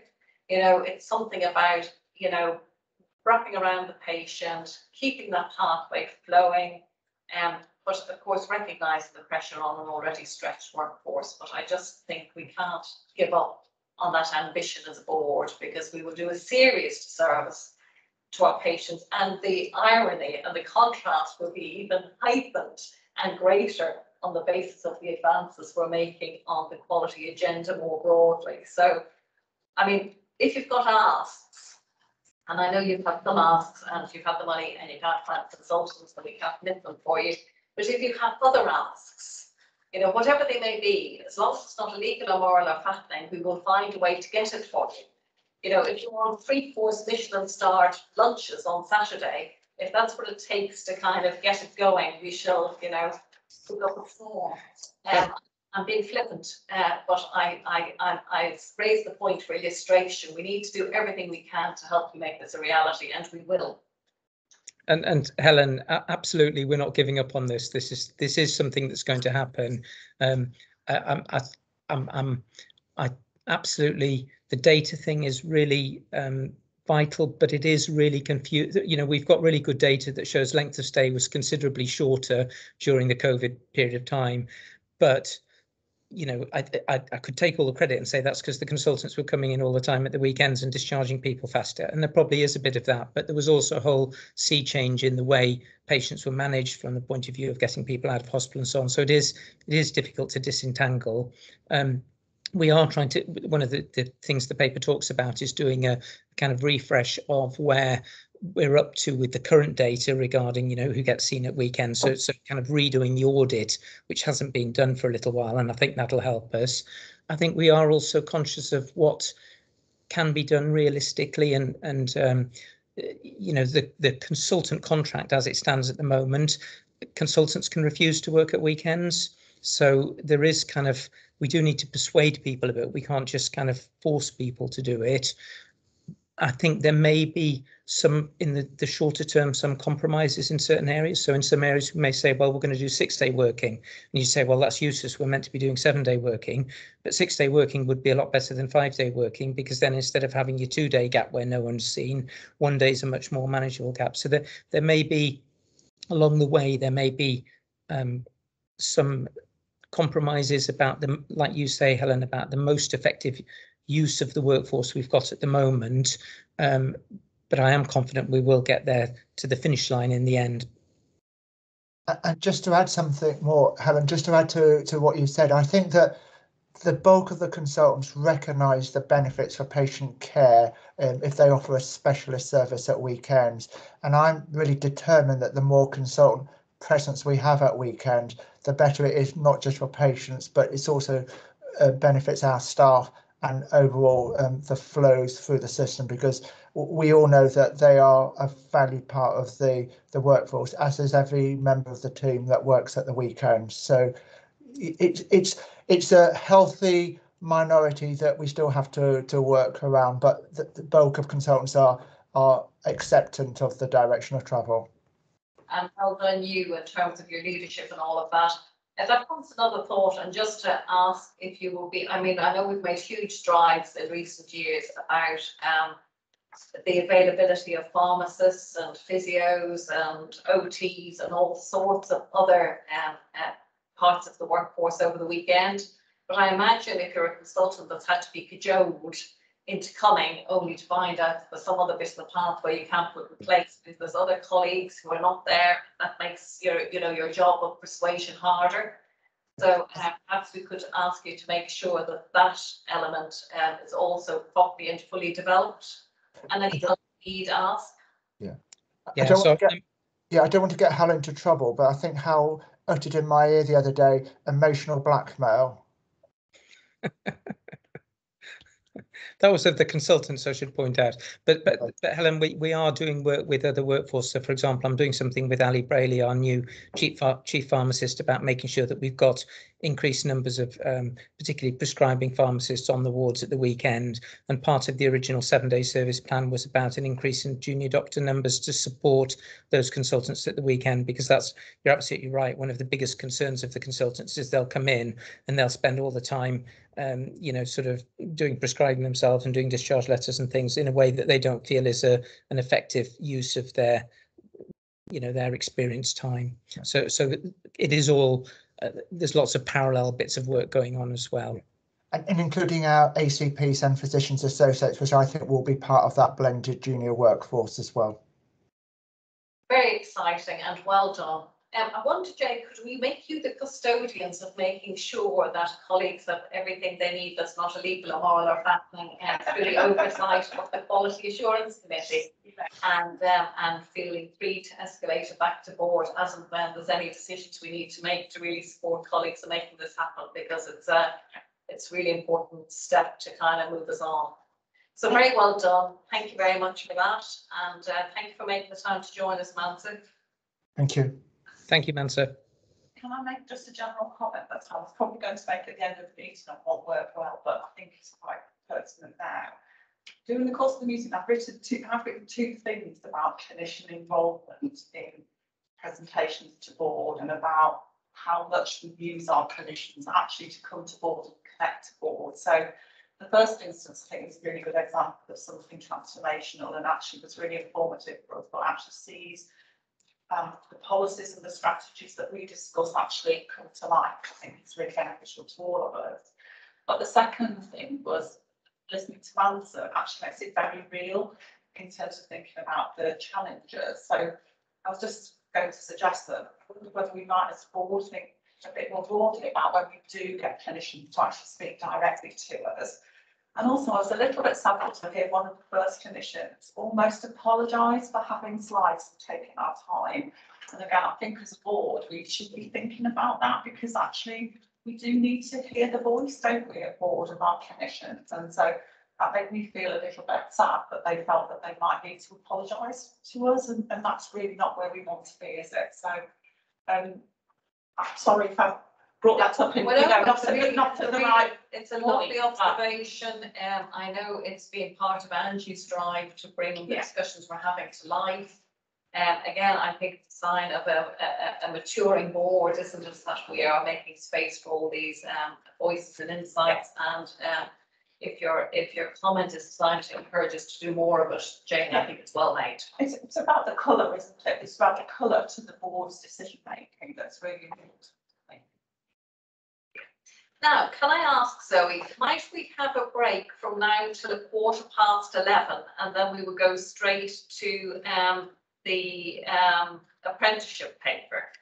I think Maxine and Haley joining us at eleven thirty, Helen, if that's okay. In which case, we're going to have a break till a quarter past eleven and then we will go and do um nursing establishment reviews between a quarter past and half past, if that's possible. And then we'll see um Haley and Maxine at half past. Thank you. Recharge your cups. Going back to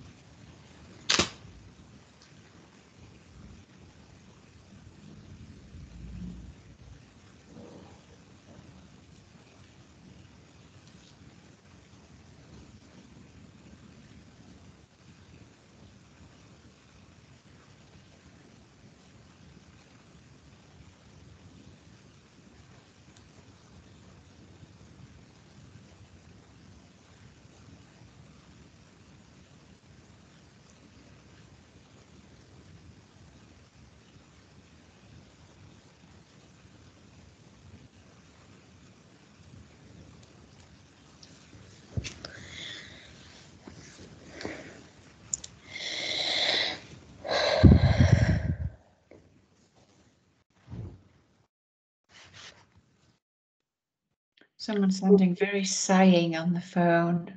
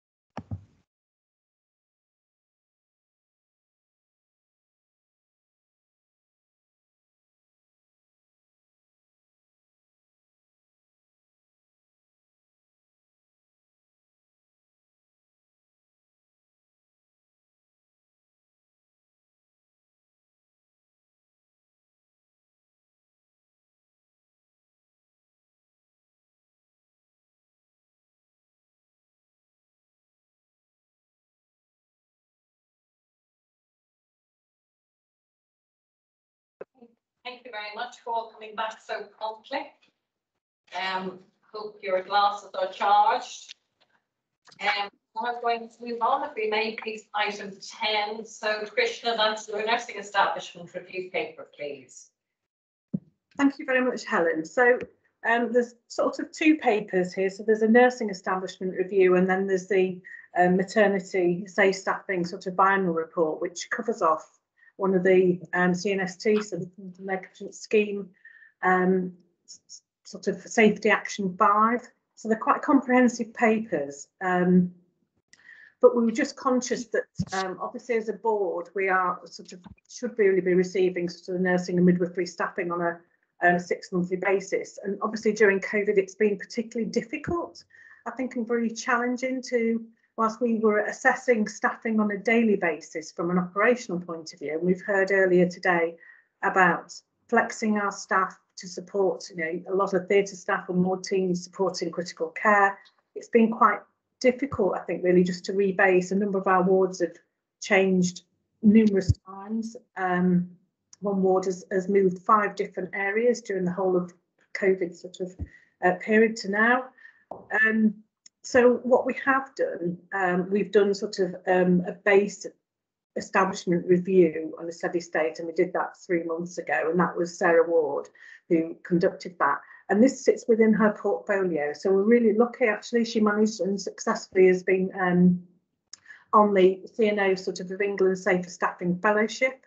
So she's currently undertaking the modules for that um, for the for the rest of this year. She's doing really incredibly well. So we're learning a lot about sort of some of the rigor and the process. We're also learning uh, Chesterfield is ahead of the curve in, in, in many ways, which you'll be pleased to, to know. And, and some of that is down to sort of the process of what we've got in place. So we are assured on a daily basis from a staffing point of view about how we monitor the staffing and if there are any gaps. We use um, the Safer Care Tool, Staffing Care Tool, which the wards do the acuity. So they look at the numbers of staff on duty, the acuity of patients, and if there's a gap, then that get escalate, that gets escalated throughout the divisional teams, and then we have a staffing meeting on a daily basis.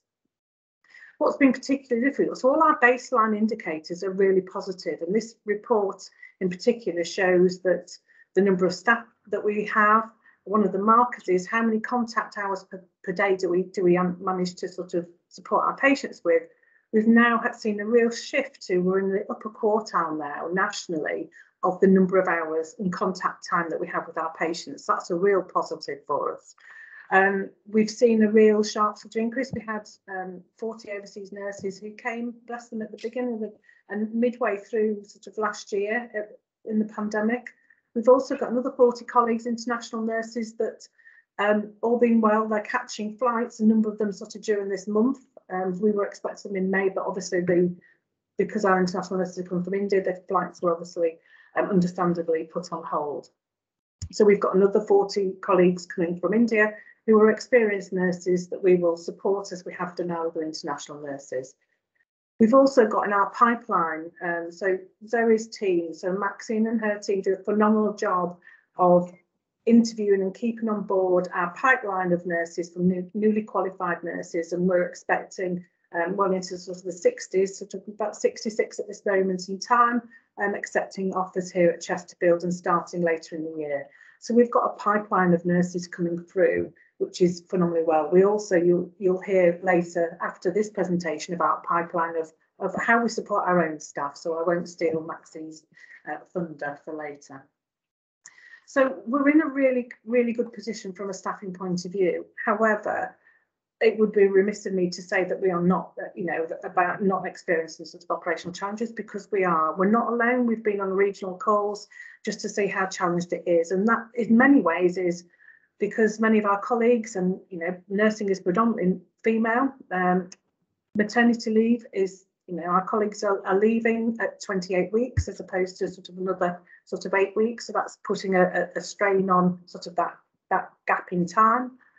Um, we've seen in the last sort of four or five weeks the um, input impact really of school and we you know about them being in bubbles and contacts so we've got a number of colleagues who who aren't here for a number of reasons which adds into it our underlying sickness levels are are really positive but with when you add in all of those gaps and we've still got um, you know, we've increased the footfall in our in our in our ED department, which requires staffing. We've got an SAU that wasn't in, you know, hadn't wasn't in sort of um, wasn't a concept that we were used to until about sort of 18 months ago. So all of these are sort of new areas needing new staffing. All the teams have been through the rigour of, of what we're expecting sort of at our next establishment review to make sure that we've got the right staff and skill mix in the right areas. And during this last year, we've supported our colleagues with development. We've put in additional band six posts um, to support the leadership um, within the ward areas. We do know that we've put in a, significant amount of new, we've had new matrons, our band seven posts, our senior leaders, and we're just starting, we're starting this month with that development um, programme to support our senior leaders. So we've got an awful lot of work. We met with um, Berenice and Claire Lambie from sort of from an operational team to try and shore up a, a, a, a improvement plan really from our staffing. So we know that we can, we've got the right number of people. We know that we've got more people coming in. We know that we, we've got developments and train, but actually, are we rostering ourselves? Some of the basics, have we got our rosters right? You know, have we got people in the right place at the right time? And we have seen that. We've done reviews sort of and um, done some sort of evaluations really of some sometimes when we've been operationally pressurized have we got the right people in the right place and that's definitely an area of focus that we're moving forward with our improvement plan um, going forward and that will form some of the basis from our um, senior leaders um, education and training as well I think that that for me was what I, all I really wanted to pick out of the, the staffing paper. I'm more than happy to take any questions on that before I sort of move on to the um, maternity paper. Okay, let's pause there. On the staffing papers, anything you want to add, Jane, from QAC perspective? Um, and then just to say that we receive them regularly and that we're really pleased with the increase in, in care, care hours. We looked at, I think, last year, but actually we were quite low on care hours, but actually we've used the new tool and having looked at it, actually we're performing really very well. So we're very pleased to see that. Very good. Does anybody else have any questions or comments on that before we move on? Might I have one in that case, Krishna? Um, have we interrogated as fully as we might um, all the harms and any contribution or otherwise of staffing levels with respect to harms, whether they be falls or pressure ulcers or other patient harms. Um, I know that generally informs the assessment in the round. And I also appreciate we've invested heavily in nursing establishment and resources are finite. Um, but, you know, it doesn't take many anecdotal stories about the increase in the length of stay when a harm occurs that could potentially be avoided um, with more presence on wards to think, goodness me, are we really getting this right? Um, and I know you have a, a sense of that in the round, but some comment on that will be very welcome. So we're, we're, we are really lucky. I mean, we're, we're now supporting some more investment into our tissue viability team. But from our falls team, we've seen sort of um, the level of data in sort of in, interrogate, interrogation of that data. So when a fall occurs, it's it's down to um, the staffing on the ward. Um, it's a it's a quick review on what happened at that point in time, so you can easily sort of tell whether that was an issue or it wasn't.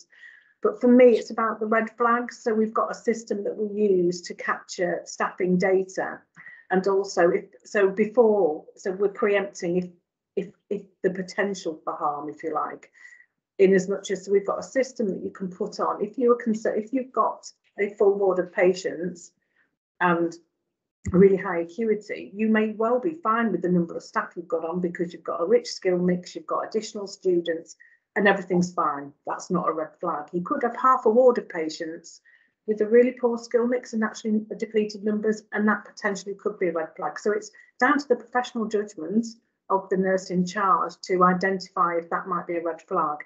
And then we use that uh, perspectively to, to identify if there are areas that need to be shored up with additional staff from around different the wards, um, or we've got a pool of um, staff that we can deploy into that area if they're shown. So we're trying to preempt the harm occurring. So I think that's that is a positive. And then if happy, Krishna, that people are using the red flag system well? And are you happy that we've got the overall resource to respond to red flags in a timely fashion without creating other risks elsewhere? I think, I mean, that forms part of our, our sort of improvement plan and our education for how to use the red flags. Um, because it's it's quite an art form if you're in the midst of a busy ward and you see that you've got a, a member of staff down to, to call and say that you're short without thinking about the com you know the complexities of the patients you've got and, and it might be that you're short of a nurse but actually it might be at this point in time with the with the staff that I've got on board I'm, I'm fine and it's using that professional judgment and that's sort of the, the training and sort of education that we need so we know that the red flags are being used are they being used to the full effect I don't feel they are at the moment, and that's that's the that's the rationale for that um, education and training our ward leaders. Thank you for that clarification, really helpful. Um, in which case, please move on to the um, midwifery issues, Krishna. So the midwifery issues, I mean, it's a it's a very comprehensive paper, but it did serve it did serve sort of the purpose of of shoring up and providing that significant assurance. Um, it identified where we'd that we'd had our birth rate plus assessment. So our previous one in Chesterfield was 2016, and then we'd done a tabletop exercise in 2018. This was a full sort of notes review of, of the women in our care and based and looked at the acuity. And what it does show is that the acuity of the women sort of who are birthing with us has in, increased. We've got higher acuity of women, but that is offset by a general national trend uh, COVID exception, of reducing birth uh, numbers. So in most, in fact, in all hospitals, the number of births um, have, has been on a, a, steady sort of reduction over the last sort of five years. I'm not sure that we understand the full effect of COVID and lockdown um, increasing birth numbers. And for us, the only sort of um, caution as well is that what we do know is in in um, other neighbouring trusts who have been in, under pressure from CQC, adverse CQC reports, we do know that, that it has resulted in women moving to um, different areas. And we've already seen sort of um, anecdotally at the moment, and we're working with Claire's team to identify postcode movement of, of women booking in to see about that impact. But we've got Birth Rate Plus that came out in April that showed us that we are we've got a, a small deficit in our baseline establishments. But we've actually got more people in post than that because as an organisation we've we've supported sort of a cover for maternity leave. We're in a really, really positive place. I was in a regional call yesterday about some really challenged organisations with huge numbers of midwife deficits, and we're not in that situation. And we've got people queuing to join us in September. On the paper, it does um, allude to the of the NHS funding bid. I'm really pleased to say that we've we got a confirmation yesterday of the Ockenden funding. So our request was sort of about 400,000 and we've been given 318,000, which in, in, the, in the round is, is really, really positive. That will shore up not just some of the maternity midwifery workforce um, gaps, but it actually will help su support such a medical workforce and strengthen that as well to, to allow um, the much needed time to be able to input into some of the safety metrics that we need to be able to assure a safe service. Well done, thank you, Krishna. Jane. Can I just add a few things thinking about the maternity safety forum? Um, so one is just to confirm that the birth rate plus um, was really positive, and as Krishna said, we just need to think about where our staff are. Whether we've got the staff, but whether they're always in the right place. So that's an ongoing conversation through the safety forum. And the second one was just to say that we're also looking at the neonatal staffing because of some concerns raised about um, people acting up and people's specialist skills versus um, unit leadership. So we're looking at that. Krishna's got there's another tool that can be used. So that's uh, kind of quite a live issue at the moment, which I think is important to think about when you're thinking about maternity. And then I just wanted just to support what um, Krishna's just said about funding. So we have been successful with national funding and we are expecting to get some rebate on our CNST. Uh, But that does need to be used for maternity for the things that we've identified. So um, I'm sure Lee will shoot me down here, but I'm sure that on the Joint Care Derbyshire slides, there was a, a, a line about maternity funding and limiting it, I think, to Ockenden funding, etc., etc. But I just wanted to be made clear that in order to support our safe service, we do need to keep those, those funding streams within maternity. Thank you, Jane, very helpful. Um, so thank you both for that um, assurance about uh, safe staffing and maternity, very um, important, not least of all, in the light of the Ockenden, Ockenden recommendations. Um, does anybody want to come in on that, or are you happy to uh, note and accept the assurances? Well done, Krishna, thank you very much. Um, I don't know, have Maxine and Haley joined us? If you're on the call, say hello. Hi.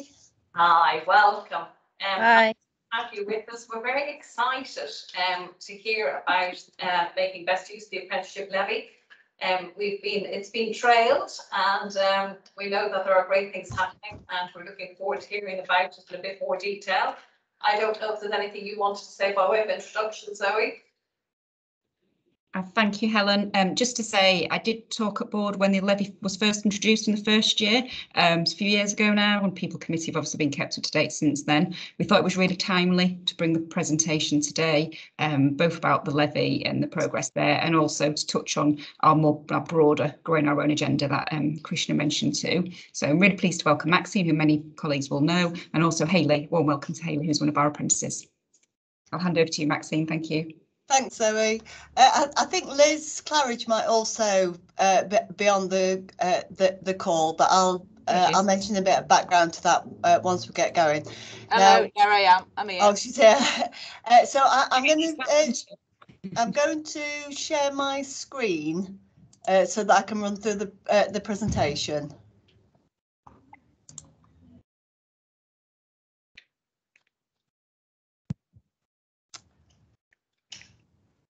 So uh, uh, uh, now I can't see you anymore. So has that worked? Yes, but it's full screen. It's, it- It's full screen, all right. Great. If uh, can I ask somebody if uh, if it suddenly disappears, ca- can someone let me know? Can- Can you make it full screen, Maxine? Oh, right, I'm with you. Uh, slideshow. Um, from beginning. Right, how's that? That's good. Perfect. So uh, uh, thank you first of all for um, inviting us to come and uh, talk to you at the board about uh, growing our future workforce and making best use of the apprenticeship levy.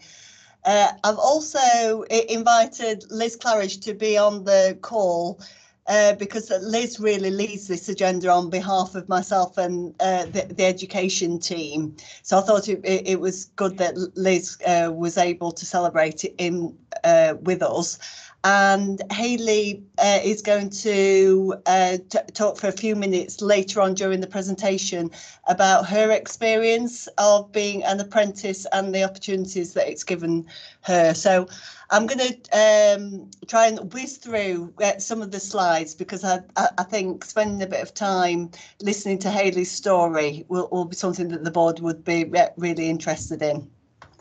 So the, the way I've set out the, the presentation is uh, for, for those, I'm not making assumptions that people necessarily understand all about the apprenticeship levy. So I'm going to give a, a brief background to the levy, uh, then provide some information about where we are in relation to our spend against the levy, because that was one of the areas of concern when it first came out, and move on to you know, the achievements that we've made, that you know, the activity that we uh, undertake through the levy and the, what that's meant to us in terms of our apprenticeship numbers, uh, how we're actually you know, working in partnership with apprenticeship providers, uh, you know, other organisations, and in particular the system around apprenticeships and the levy. Uh, and then that'll lead nicely in, I hope, to Hayley's story, and then uh, wrap it up really with uh, where we are in terms of next steps. and uh, obviously, any questions uh, if we have time, hopefully. So a bit of background to the levy. As Zoe uh, said, again, the uh, she introduced it to the board when it first came in into place, which was now uh, April 2017, which is quite a long time ago now. And uh, the levy is basically a, a, a tax on uh, employers who have a pay bill of more than £3 million uh, per year. Um, and that, that's only actually 2% of employers uh, nationally. Uh, in terms of the levy, uh, so each month, um, 0.5% of our uh, salary costs uh, get uh, paid into the levy. Uh, and that sits in what I think of as a levy bank account for, uh, for us that stays in there uh, for up to two years. And if we don't use it within that two years, then the taxman then takes that away and that's used to fund apprenticeships for non-levy paying organisations. Uh, we uh, so for us that's round about uh, 60k uh, per month um, uh, we, we, pay uh, into the levy um, and we're only able to use that apprenticeship levy to actually pay for apprenticeship training. We can't use it to pay for salaries of people that we want to employ as apprentices. Uh, in addition to the uh, you know, 55, 60k a month that we uh, pay into the levy, uh, the, we, we, also receive a 10% monthly top up uh, nationally into that. So we get a little bit extra on top of it. And we also get um, uh, some extra funding going into our levy for any individuals who we start on an apprenticeship who are uh, under 18 who are individuals i think on i think it's under 25 who are transitioning from care or other individuals who have um, you know recognized uh, additional learning needs. We, we get additional funding on top of that. So uh, so what does it mean in terms of money? Well, as you can see on the, the slide, you know, there's some quite big numbers here, especially from a, you know, a training education point of view. And um, as you can see, the current funds that we have in our uh, apprenticeship at levy part are, you know, close to one and a half million. Um, and the, uh, the amount of uh, funding that we've spent over the past 12 months is uh, ju just short of uh, 600,000. Um, and uh, the amount of funding that we're expected uh, to pay into the levy over the next 12 months is there. You can see that's 778,000 and we're estimated to spend around about £650,000, uh, which is more than we'd spent in, the previous uh, 12 months. Uh, we know this information through something called the uh, digital apprenticeship system. So that keeps a, so that's our, I think of it as our apprenticeship bank account. So that keeps a tally of all of the money that we've uh, you know, got sats uh, there in the levy. Uh, but that's also where the uh, funding is paid from uh, to the apprenticeship providers for uh, you know apprenticeship training that we we commission. So this is really our uh, digital uh, bank account. So they keep a tally of how much we've got in in total and kind of give us a sense of uh, know, uh, where we're we're on track in terms of our spending. Now, if we don't spend um, the, the funding that's gone in, uh, then we uh, over a 24 month period, we potentially lose some of that funding. Uh, however, that I think really good news for us is that we've never um, had to give up any of our levy spend, which is a really good news story because uh, many organisations have not been in that same uh, position and haven't been able to keep on top of their uh, levy spend and have actually lost that money back back to the taxman. So I think that's you know a, a really good achievement for us. Uh, in terms of uh, how we're actually you know, uh, utilising uh, our levy, you can see from uh, th this slide, um, if uh, where it says DAS transaction areas, this shows in terms of the amount of levy that we're spending, typically the areas that we're spending the majority of our funding on. And you'll see that um, healthcare uh, level uh, level two and level three uh, apprenticeships, which is uh, uh, the main apprenticeship for our healthcare assistants, is our main uh, activity. Um, and that's in terms of cost. In terms of the numbers of people doing uh, apprenticeship, that's far greater, but it's a relatively inexpensive apprenticeship. So that costs about two and a half thousand pounds per individual for that apprenticeship.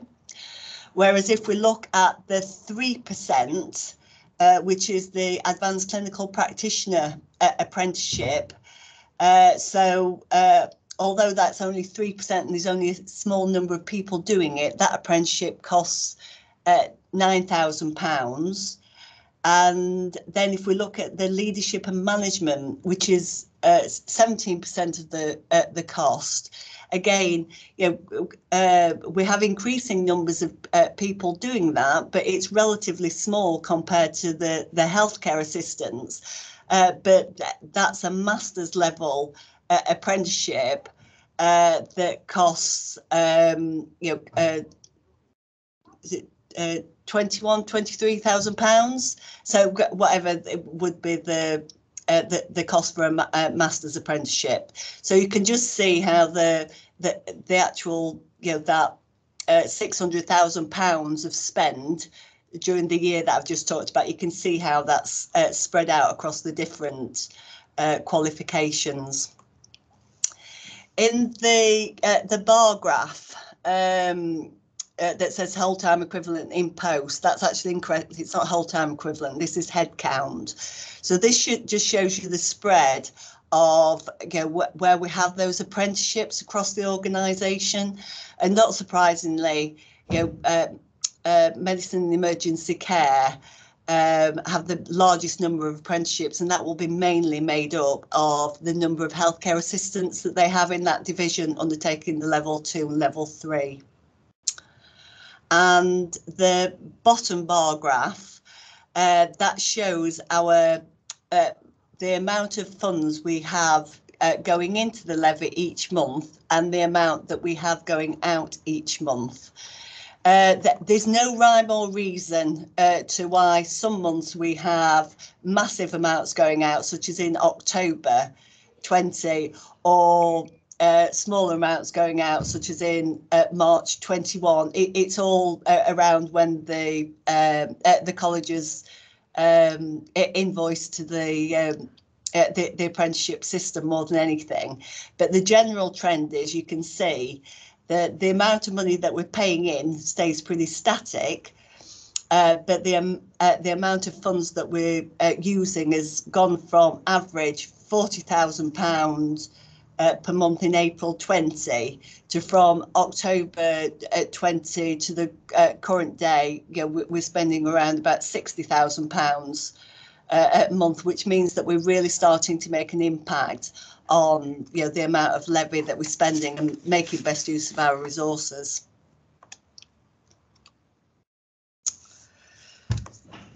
So we're, um, so we're not only you know putting lots of people uh, through this uh, training, um, you know, we're, we're having really good uh, outcomes for learners learners as well. And uh, in the past 18 months, the uh, uh, apprenticeships have changed, and um, individuals now undertaking an apprenticeship have to do something at the end of the apprenticeship called an endpoint assessment. So this is the final hurdle that they have to uh, cross in order to you know, complete their qualification. And uh, uh, to date, we've had a 100% pass rate for our endpoint assessment, and 65% of those individuals who've undertaken the endpoint assessment have achieved either a merit or a distinction. And I think that that's just credit to the uh, quality of uh, you know, support and training that individuals get in practice as well as the academic. Uh, this uh, next slide uh, ju- just highlights how we've been uh, working in partnership with uh, Joined Up Care Derbyshire and Joined Up Careers Derbyshire as part of our uh, integrated care system. Uh, apprenticeships are you know, a key part of our system people strategy and the implementation plan associated with that, which is called Growing for the Future work stream.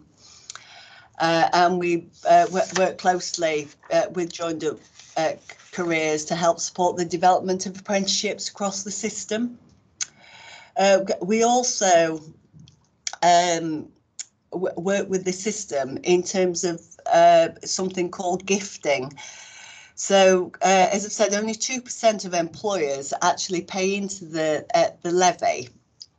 And uh, that means that other employers, if they want uh, th- their individual staff to go onto an apprenticeship, they have to contribute towards the cost of that. So, uh, what we can actually do is we can support uh, employers with that cost by us uh, paying for that apprenticeship for them. Uh, so, for example, you know, um, you know, primary care, re- residential homes, you know, uh, any you know other um, you know uh, body that uh, wants to undertake uh, apprenticeships, we can support them by gifting up to 25% of our levy to those uh, other employers. And uh, these don't have to be healthcare pr- providers, but you know we- we've obviously focused on doing that.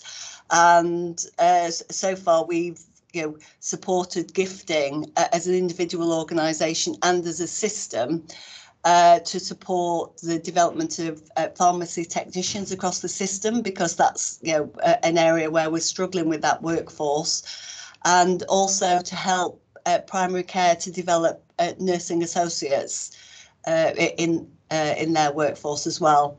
And that's something that you know over the coming year we want to look at how we can do more of that. One because it's a good thing to do for the system. Two, yeah, it, it helps other people uh, to, to grow their workforce, but also for us, it means that we can make uh, you know conscious decisions about how we are actively using our levy uh, rather than risk losing it if we don't spend it. so that's kind of some rationale around around that.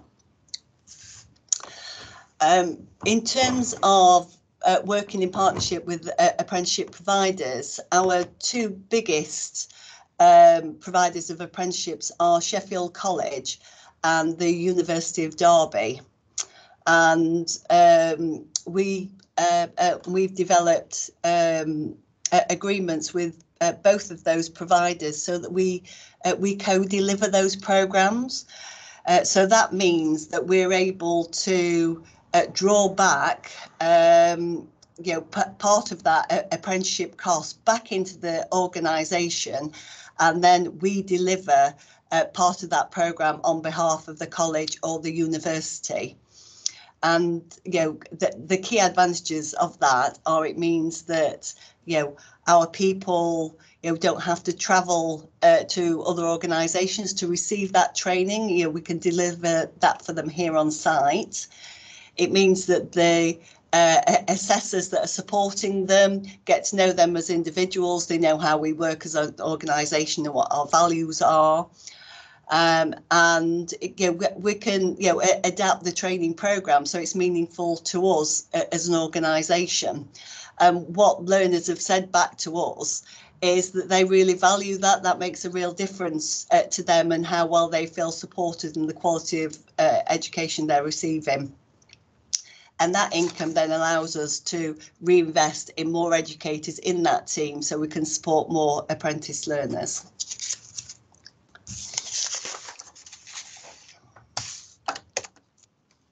Uh, I'm not going to go through this slide in detail. I think this just gives you a snapshot of the uh, the range of different programs uh, that we have uh, learners on in, in the organisation and the range of different training providers and different levels of uh, training that we have uh, currently on offer. Uh, so currently uh, we have 194 uh, apprenticeships that started over the the past year, and that tends to be quite been quite consistent over the past three years now. And uh, just before we move on to Hayley, I, I just wanted to you know, highlight how you know uh, the apprenticeship levy and apprenticeships you know uh, fits in with you know looking after our people and supporting our communities. And something that I'm personally quite passionate about, as is Liz, is you know this concept of get in um, you know, we, we were doing work on this well before, you know, uh, we started talking about anchor organisations. And, you know, this is about how we've been, you know, helping uh, unemployed people, in particular young people and uh, people from disadvantaged backgrounds into employment with us in the organisation. So working with uh, bodies such as the Prince's Trust, uh, joined up careers linking in with you know step into work pre-employment programs and most recently kickstart programs. So this is really work experience opportunities for individuals which we're able to support as a team which then lead them on into hopefully well go frequently uh, going into employment with us uh, most often as a healthcare assistant or a healthcare assistant apprentice. Um, and then that moves them into this get on stage where we're then able to support our people who are working in support roles to move through a range of apprenticeships to become registered healthcare professionals. So moving from, you know, healthcare support worker apprenticeships at level two and three, to then moving on to do their nursing associate apprenticeship or their assistant practitioner apprenticeship.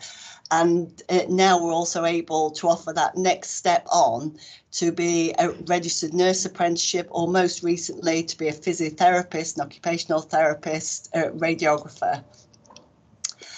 Uh, and uh, as I mentioned, um, we now also have the advanced clinical practice uh, apprenticeship. So there's a whole career span there in terms of you know uh, uh, getting on in their career in the organisation, and the added benefit of we know that if people do an apprenticeship, they are more likely to be retained within the organisation where they've done that apprenticeship. And last but not least, uh, go further.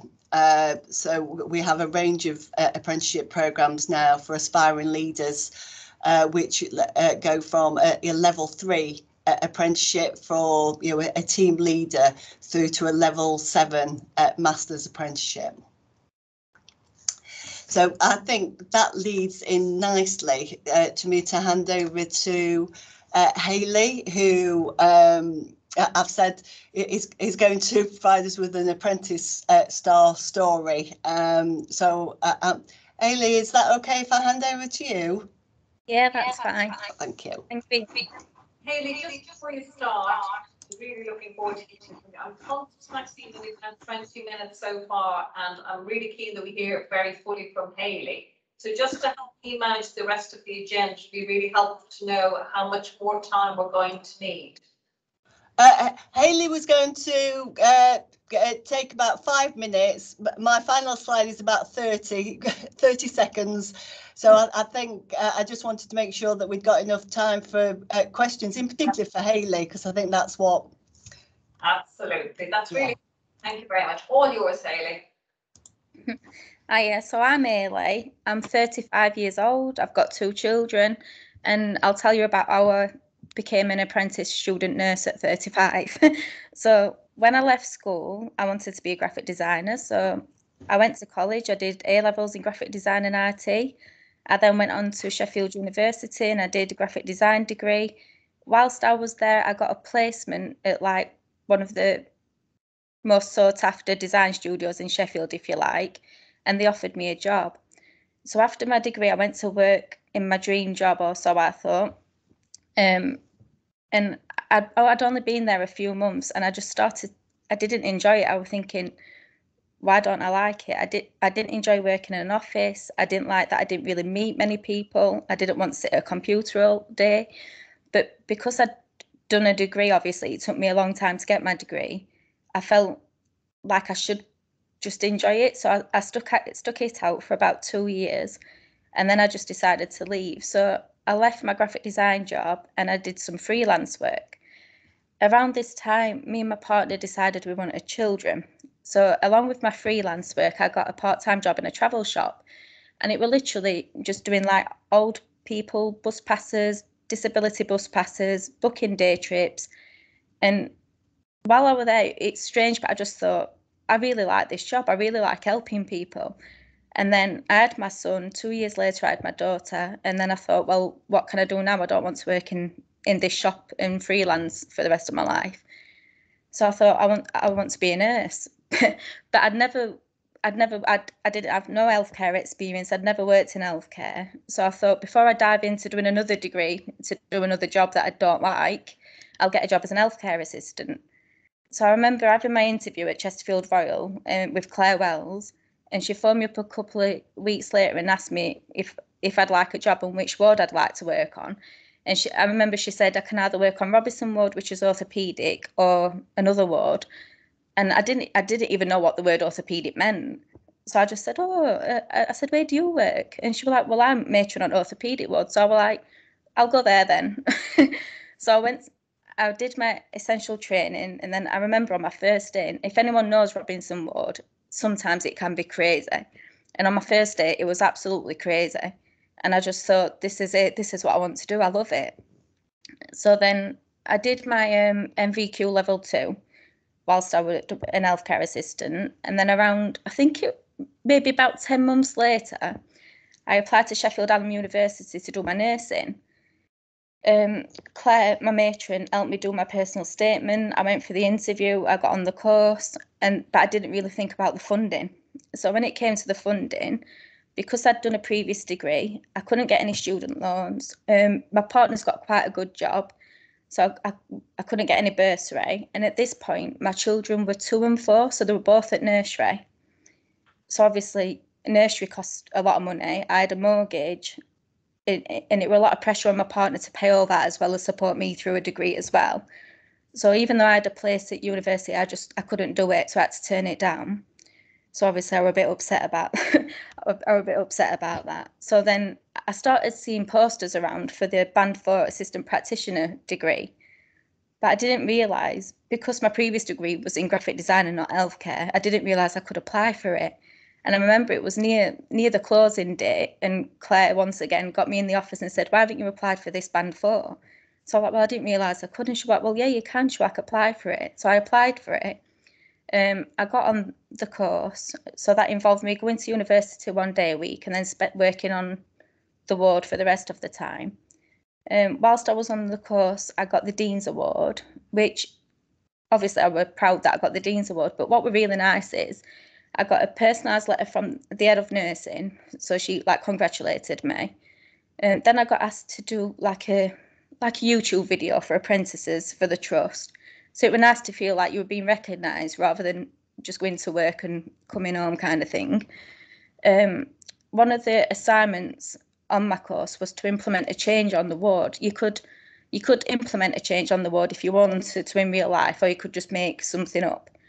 So I decided because I work on Robinson and I know what it's like to work on there, I did um, like a fluid balance campaign. So I made all new posters for fluid balance, put all patients like signs up behind the bed to make everyone aware they're on a fluid balance. It explained to relatives what a fluid balance was, had the measurements for every cup used on the ward. So just to make it easier to monitor the input and output of a patient, basically. Um, so that went down well. And then the ortho geriatrician really liked it. So that's actually been presented to the British Geriatric Society. And I think that were three years ago now, and it's still being used on ward today. So I think that's a good example of even though you're just a student, if you like, if you want to make a change, you can. Um, as well as that, I also, because of the fluid balance thing, I used to work in the education centre one day a, a month, just doing like posters and doing training, and then I'd go on the ward and like for neurovascular observations, for example. So then I'd go on the ward and do some training on the ward for that. Um, when the neck femur fracture nurse was away, I did some of her role as well, doing the NOF proformas, making sure that were still being done while she wasn't there. And then I think I'd been qualified maybe nearly two years, and then the nursing apprenticeships come up. so once again, that's where I am now. So now I'm on the nurse apprenticeship. I'm in my third year. I, I should qualify in March.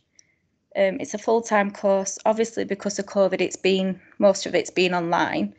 Um, every three months, I meet up with Claire Langford and the university. I have like a catch up to make sure everything's all right. But I can email or ring them anytime I need to. Um, and that's it, really. That's where I am. what an inspiring story. Fabulous, absolutely fabulous. Can breathe now. You're proud, and we're proud of you. And it was Thank you. you mentioned in dispatches, people who through their leadership have brought you on. Um, I think you mentioned Claire Wells once or twice. Um, and you know, the importance of that encouragement in the workplace to reach your full potential. And um, you know, you will be the backbone of this um, workforce and uh, place for years to come. So that investment you've made in yourself will pay off so handsomely to the community for, I don't want you, I don't want you to think you're enslaved, but decades uh, to come, which is uh, really rather wonderful. Um, and well done you. I'm sure there were moments where it required a great degree of bravery as well as uh, good judgment. So it's been lovely to hear um, Maxine's really helpful and comprehensive picture of our approach to apprenticeships brought to life in that way. Um, I'm very mindful, Maxine, not only of the fabulous use of funds you're achieving, but also the great outcomes for learners. And um, we recognise the amount of leadership part on your part to achieve that. It's not a story um, in other trusts, and it's certainly not the story in other sectors. Um, so you have been working your magic uh, for which we're duly grateful. Um, I'm going to go to Jeremy to see if there's anything you want to add from the perspective of the People Committee, Jeremy. Um, only that we keep a close eye on the on the apprenticeship levy and Maxine attends People Committee, you know, and, and keeps us very much up to date with that.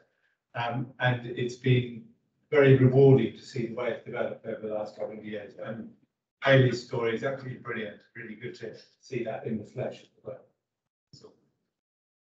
Um, we've got. Thinking, I sending notes to myself? No idea, how I managed that. Um. We do have a hand up, I can't quite see it. Oh, no, it's just a note, sorry, it's not a hand.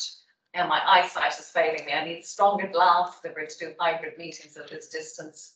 Um, I think it's it to say a huge thank you from all of us. I think the applause um, um, gave you a sense of how it is you've made us feel and uh, we're really appreciative. And, uh, and of course, keep up the good work because this programme's here for uh, hopefully the foreseeable future. So thank you again.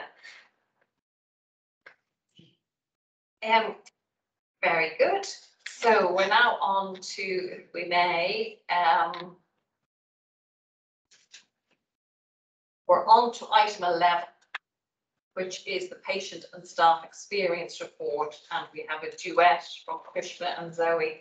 Um, please take it away in whichever order you like. Thanks, Helen. I'll start from the um, staff experience perspective and then I'll hand over to Krishna. Um, so a few things I wanted to highlight from the paper. I feel like how am I going to follow Hayley's story? That was fabulous. Thank you. Um, we talked earlier in the meeting about the thank you day on Monday, um, which the paper talks about, um, which coincided with the NHS's 73rd birthday, of course. So for us here, that was a day of celebration and we shared video messages and thank yous and lots of cake. Uh, it was also a day of reflection. Um, with a two minute silence and throughout the day really. So a bit of a mixture of emotions, mixture of emotions on Monday. The paper also talks about the new NHS People Pulse survey, um, which is now live. So this is a new quarterly survey um, that we will be running as a trust. We did run it for a period during the pandemic last year as well, so it's not totally new to us. Um, but this is the one we're doing quarterly now, apart from when we do the annual staff survey. So it's live throughout the month of July, and then we'll hopefully get our results in August. So it's a much shorter survey than the annual one, um, with a much quicker turnaround focused on a number of key questions around advocacy, motivation, involvement, etc., as well as some questions about the impact of the pandemic on individuals. Um, sort of two different aspects to that. So we'll look forward to seeing seeing how that goes and how that becomes embedded. And the final thing I was going to talk about was the um, our exec sponsor roles. So the activities described in the paper are our first ones with our new list of priority teams um, for all of us. So there's a mixture of, for some of us, we've got some new teams, um, for others, we've got some ones that we already had relationships with or a, a mixture of both. Um, so the paper sort of brings to life lots of examples. So, for example, um, I've been involved in some staff survey feedback sessions and listening sessions. There's lots of other examples of um, execs, how they've introduced themselves to their new areas and met with leaders and met with teams, walkabouts and visits and really learning more about the services and understanding what's going on in the areas. And I will leave it there and hand over to you, Krishna, please. Thank you, Zoe. So I just wanted just to draw out a, a couple of things really, just some celebrations, I think, really, from a, a number of our, our teams. So um, the first one really is about the improving cancer survivorship in the deaf community. So that's a lead nurse, that's Maria Ledbetter, Cherie Hall and Don Warrington. Um, published online, but it was really, they they saw a, a gap really for um, difficulties with um, from our deaf community having access to uh, valuable information. Um, and they've developed a survivorship sort of information event for um, complete with um, really well supported with interpreters. Um, the article is, is sort of um, being peer reviewed in, in the peer review journal for sort of cancer nursing practice. So that's a really, really good sort of advocate, for um, a, a, really difficult situation, but a vulnerable group and being able to support um, the deaf community. Um, I think we mentioned it somewhere before as well, but the Trust um, Royal College of Nursing Awards, we've sort of got um, from a carers volunteer and um, carer liaison, so that's Rebecca and Carolyn, um, shortlisted for the RCN Commitment to Carers category, which is a real accolade for the, all the hard work that they've, they've put in. And the other one is that I wanted to draw out is the emergency department sometimes gets under scrutiny for, for different reasons, but I just wanted to draw out a real positive we can't share. We've got embargoed um, feedback at the moment from friends and family um, from the Picker feedback, but it is really positive. It's all I can say. I can't share any more than that. However, one of the things that they've, they've been in touch with is really that they want to come and do some and showcase the work, some real case case sort of um, work with us to be able to sh showcase some of the improvements that they've done with the friends and family scores. We've just seen a, a just a, a, steady improvement since February last year of, of our scores. And actually it's a real, real sort of um, accolade in, a, in a very pressurised area, but a, a, real sort of a bonus for, for us at Chesterfield that we've got such really good feedback. Before you conclude, Krishna, um, and I appreciate it'll be somewhat off script. You might just give us um, a heads up on the glint in your eye about some of the improvement work around real-time patient feedback. So the glint yes. So this will start with, and, and we're start we've started this month actually. So we've had really good engagement from um, the divisions, and we're starting with integrated care to do some more um, focus work on complaint responses. And this is, is this is about um, equipping our leaders really with trying to be proactive in understanding what a complaint is and the perspective from that individual and how it is how how it would land if the, the response that they do but this is about having local resolution so if you equip your leaders with understanding it from the patients and the and the um, carers perspective that will equip us to be able to deal with things on a local level.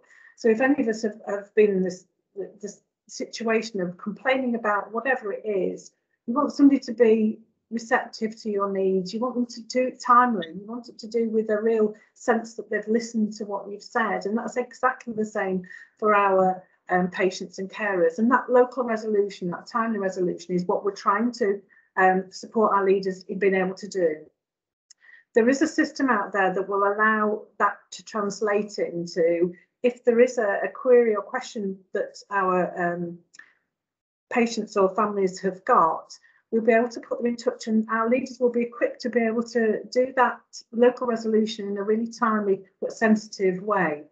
And it's marrying those two two things up at the right time. So what we don't want to do is to launch something that our leaders perhaps aren't equipped to be able to do. So we're working with integrated care system first. We've got some of the meetings with, with medicine. Surgery are, are already on board with it. And we've got training throughout July and August to be able to equip our leaders with, with, with those sort of skills. Well done, that's super, thank you. Any questions or comments um, for either Zoe or for Krishna or are people content with the update? Very many thanks. Um, that brings us to item 12, um, vote three site paper. Um, and this um, this indicates a change of um, existing policy uh, on the back of um, recommendations from the hospital leadership team. I don't know, are you two taking this, Angie? Uh, how, how, how, all yours. That, thank you, Helen. Um, so um, this paper is on the back of long-standing difficulties we've had around um, our hospital site regarding effective enforcement of the site being a smoke-free site. Um, there's national um, directives um, which state that, that all NHS um, sites and grounds ought to be smoke-free. some of those target dates have already been and gone, and we, along with other um, um, organisations, have struggled with effectively implementing a site being smoke free. So we can say we want to be smoke free and put up signs, but the there's a fundamental difficulty in that um, patients and visitors don't always comply with that um, that um, situation is exacerbated by the fact that there is actually no law against smoking outside the hospital building. So there's a, a, law which can be legally enforced regarding smoking inside buildings, but there isn't anything at all about smoking outside the front entrance, for example. And um, my feeling to an extent is that until the, the national legal situation changes, it will be very difficult to enforce something that isn't legally enforceable. We, we've discussed with, um, uh, you know, the, Derbyshire um, social services and, and police services, and the, the only way they can suggest that you can do it is you could fine people for littering if you drop cigarette butts, um, but you can't do anything about the actual smoking. So that's the background, and the background's uh, one of us as a hospital wanting to be um, smoke free for many years and trying to implement that and doing all the things around smoking advice and posters and tannoy announcements and, and encouraging people. Um, but the truth is it, it wasn't really working. Um, that causes problems in various ways, but including the fact that um, it's very unsightly. It's not a good sort of advert for the health of the nation when people are coming in through one of the entrances and people are all smoking. But there's also issues, I think, um, regarding protecting our own staff. So some of the places where people smoke, so for example, in the um, back courtyard by the, the, what we call the the um, goldfish bowl, um, people often congregate at those doors, um, smoke. There's offices that are just alongside that where um, there's a constant smell of cigarette smoke. Um, so based on all of that, we had a big conversation um, with um, staff, patients, governors, um, um, all invited and all contributed. Um, and the conclusion of that big conversation in the end was that that whilst we all aspired to a completely smoke-free site, we didn't think it was working. We felt that something needed to be done because in the end we weren't getting anywhere just playing the same doing the same record again and again. Um, the um, absolutely we think we need to continue to encourage people to stop smoking. Um, we need to um, give support and advice. We need to make um, smoking um, nicotine replacement products available.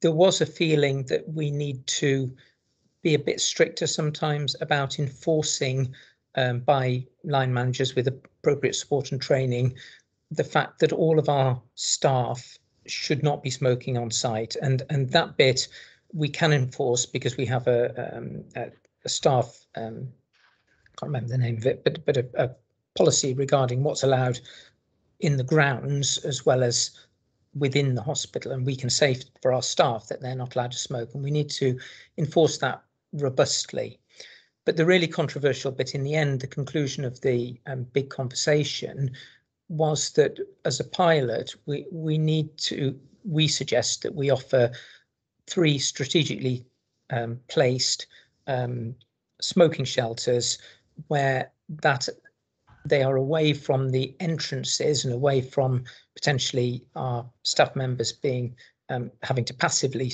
smoke and the risks involved with that but where we can direct people in a way that it, it manages the problem so that people aren't smoking outside the front door, but they're smoking um, a distance away in a way that isn't kind of easily um, seen because if it's going to happen, we'd rather it was hidden away rather than um, in full sight of everyone coming onto site. So that's the controversial bit of this proposal. It has, it did come out of that that engagement session, which which actually was just before COVID, and then COVID's delayed all of this coming back. Um, it's been discussed at HLT on a couple of occasions. There are some relatively small costs to this, including the initial purchase of the shelters, which is about 25 purchase and and um, putting in of the, the shelters, which is about 25,000. And then there's a recurrent um, cleaning cost for the shelters because we don't want it to all look, you know, horrible and dirty and covered with fag ends. Um, but the, our proposal is that we should pilot this because it's not working as it is. Um, I should say as a declaration of interests, I'm not a smoker. I never have been a smoker. I have no interest personally in using the shelters, but I think this, my, my suggestion is that this is the least bad option. It's not something we want, but it's a least bad option. Um, so I'll, I'll pause there and um, uh, happy to take any questions Thank you very much, Hal.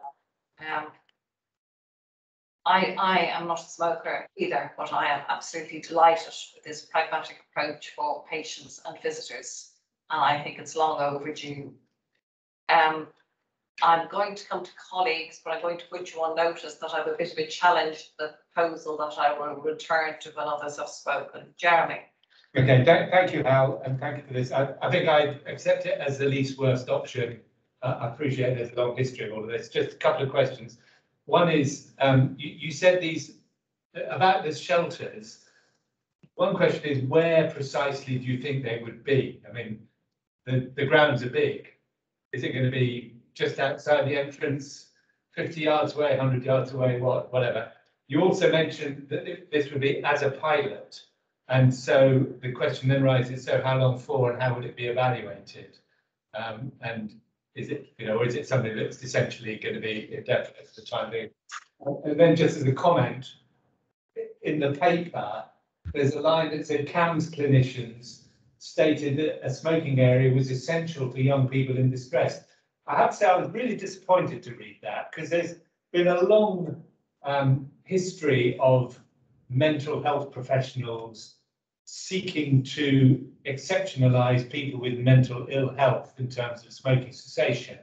And the impact of that is simply that they get disadvantaged and people with mental illness not only have mental illness, but they have all the physical illnesses arise from being smoking addicts as well. So I, that's just by way of comment, really. I, but uh, I, I understand why they say that, but I was really disappointed to read.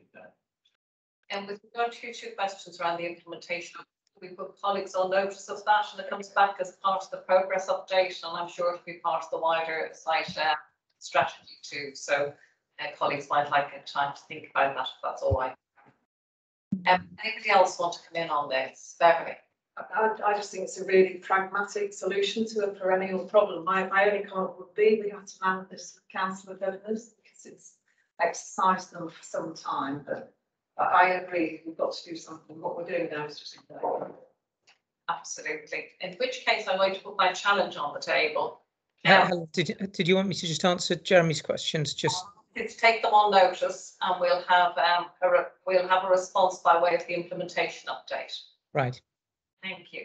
Um, the challenge is I'm not convinced we've landed in the right place around the staff.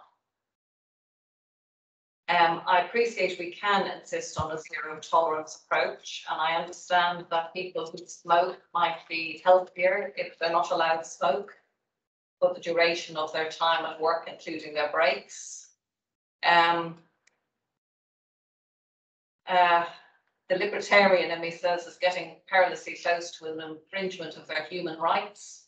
They're intelligent people. They understand the risks. Um, it is not an illegal product. It's not illegal smoke outside. And are we right in insisting that our um, employment policies override override those other rights they've got? Now, I'm not suggesting we have a debate about it now. Um, but I am rather pleased that we have taken what I believe is a step, a pragmatic step in the right direction. But I would also ask that we put you on notice that we'd like you to have a think about that as you uh, perhaps um, build the experience of this um, pilot approach for uh, patients and visitors. And it's a step publishing on Monday, so very timely that we can have that conversation with them. Very good. Helen, I think also there's a statement up about the disciplinary process, which fits with that as well, because uh, on reading what I read, I wasn't clear what the position would be with staff, and it said it was down to disciplinary process and senior managers, and I think we really have to really know what that means. Yeah, we'll take all of that together then. But uh, well done, Hal. You've gone where angels fear to tread. Thank you. Well, I think the challenge may be with the governors going. Well, um, because there's, there, there's all like car parking. There's always very strong feelings about smoking on site, and I'm I'm conscious that it, it, it they may not all be so pragmatic in in the way that I think sensibly we are being. Well, it's been it's been a very well considered decision in the light of experience of doing something else. So we shall do our best to explain it and to take their further views on matters. And um, so that brings us to the end of the agenda, but it doesn't really because we need to go back now, if we may, up item four. Um, and item four is where we get the reports from each of the committee chairs, um, anything you want to escalate to board, and in particular anything you want to escalate to board around the integrated performance report. And then perhaps to Angie for an overview about what that may or may not mean in terms of the board assurance framework um, you will see that we're pressed for time. So anything that's a narrative as opposed to a matter that needs to be escalated to board, I'd be grateful if we could take outside the meeting, but obviously we want to hear it. Um, uh, material or significant items that need uh, bringing to our attention now. So I'm going to start with your on the agenda. Go to you, Jane, please, for Quack. Okay, thank you. So um, great synergy, I think, with the items that we've discussed this morning already. Um, so in terms of patient harms, in terms of staffing, etc.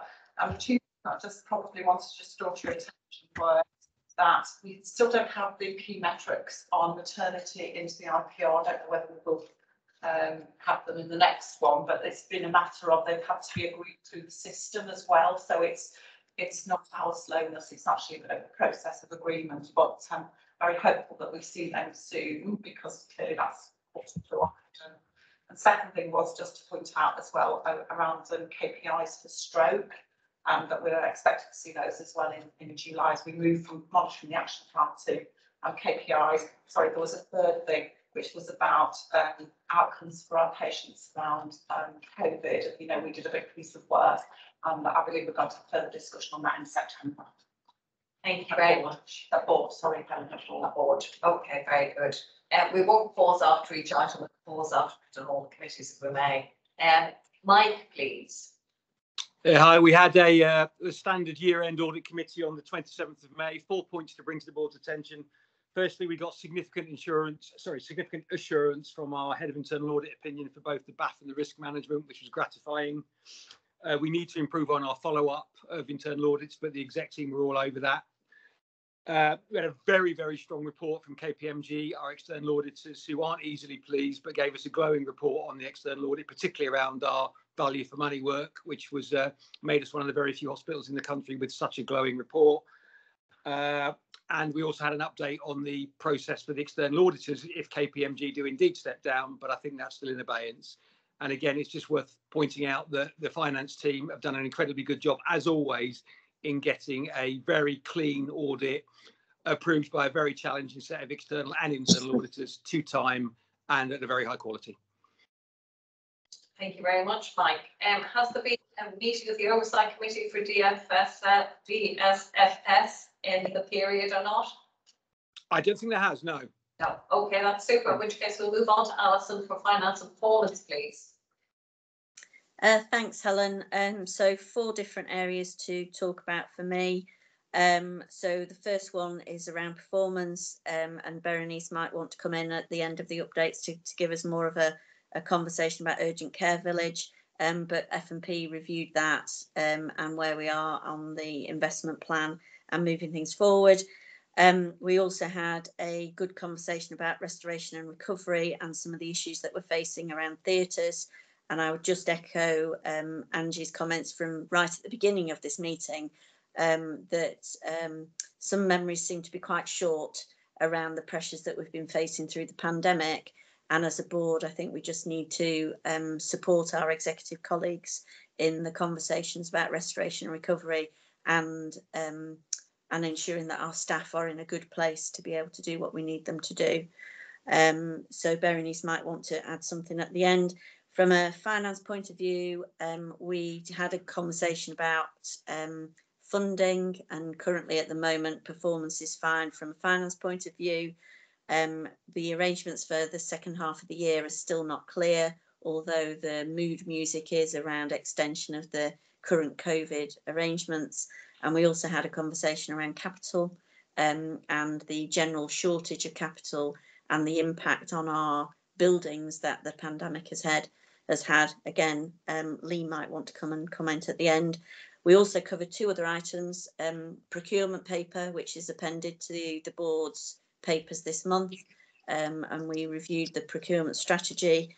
Um, and thanks to uh, Zoe for coming and attending the meeting, where we tied together the processes around financial planning, operational performance, and our HR planning processes.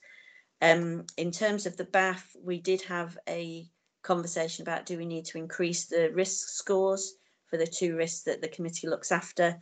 Um, and we decided that there's a growing uncertainty around the financial position until the second half of the year is clarified. And even then, there's an imperative around cost saving um, for the end of this year and the run rate into next year. Um, and because of the uh, pressures on restoration and recovery, and the unknown of COVID next steps, we were also concerned around the um, performance risk. Um, but we decided not to increase the scores or not to recommend to increase the scores, but to add some additional commentary um, about the um, uncertainty of those two risks at the moment. So um, I'll leave you to invite Berenice or Lee to comment at the end, Helen, as you see fit. Thank you, Alison. Is there anything Berenice or Lee wishes to add to Alison's report?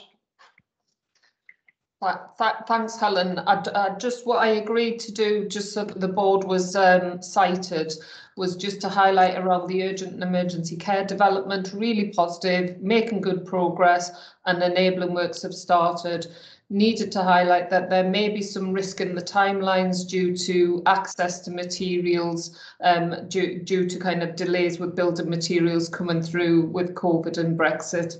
And the other point just to highlight to the to the board is around we have agreed the um, expansion of the first floor. However, the additional staffing area will not be part of the GMP that we're expecting to come back formally in September. We will do that as a as a board and we'll work work through that with the uh, same providers and same procurement.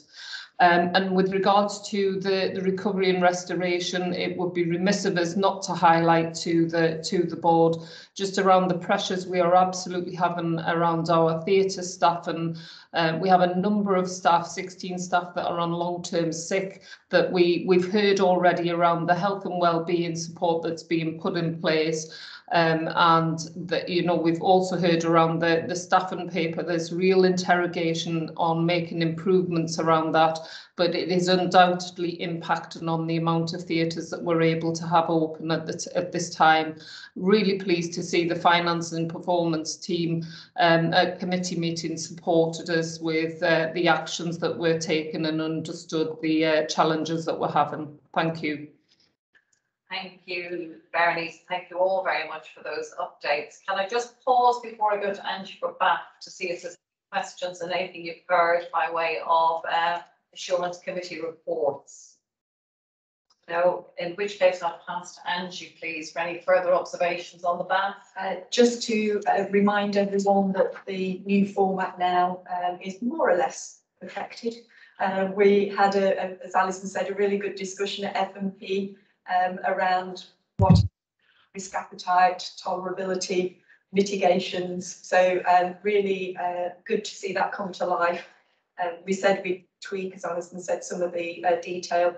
Uh, the bar's been set now for people committee next week and crack the week after. Um, and any other comments that you want to give on um, strategic risk four, which um, Jane batted back to us and gave to board uh, for now. So I've done my best to reflect where we're at and really helpful conversations today. I think that if you're comfortable, Helen, I'll do a bit more work on that one and circulate that ready for next board meeting. Perfect, perfect. Um, colleagues content to note that uh, really good progress. Right. Um, in which case, that brings us to the end of the meeting. And as uh, you'll all know, we normally pause to uh, reflect on how it is we did. Um, I'd like to give that opportunity today to reflect on the meeting and as widely as they wish to Beverly, to Alison and to Sarah um, on the basis that uh, we would uh, really welcome that. And so you can uh, have a shorter term or as longer term uh, a set of observations as you wish, but uh, uh, please, please do. Sarah, can I ask you to go first? And then I'll come to Beverly and Alison. You can. Um, I think I obviously I've been at the Royal a long, a long time, a long, long time. Um, and I think I have to say to, to finish on that board meeting, um, I feel that I've finished on a high. Um, I actually, um, I found the story from Hayley quite emotional um, in terms of um, what the trust offers um, to its people nowadays and um, the patient story. I'd spoken to the family um, earlier this year. Um, and I think even seeing it for that second and third time and hearing about it um, just brings home what um, what sort of organisation Chesterfield Royal is. And I'll finish there because my voice is wobbling. Sarah, Beverly. Um, I suppose the thing that stands out for me the most over nine years is the massive stress made in staff engagement. It is a completely different place to work from my perspective as it was.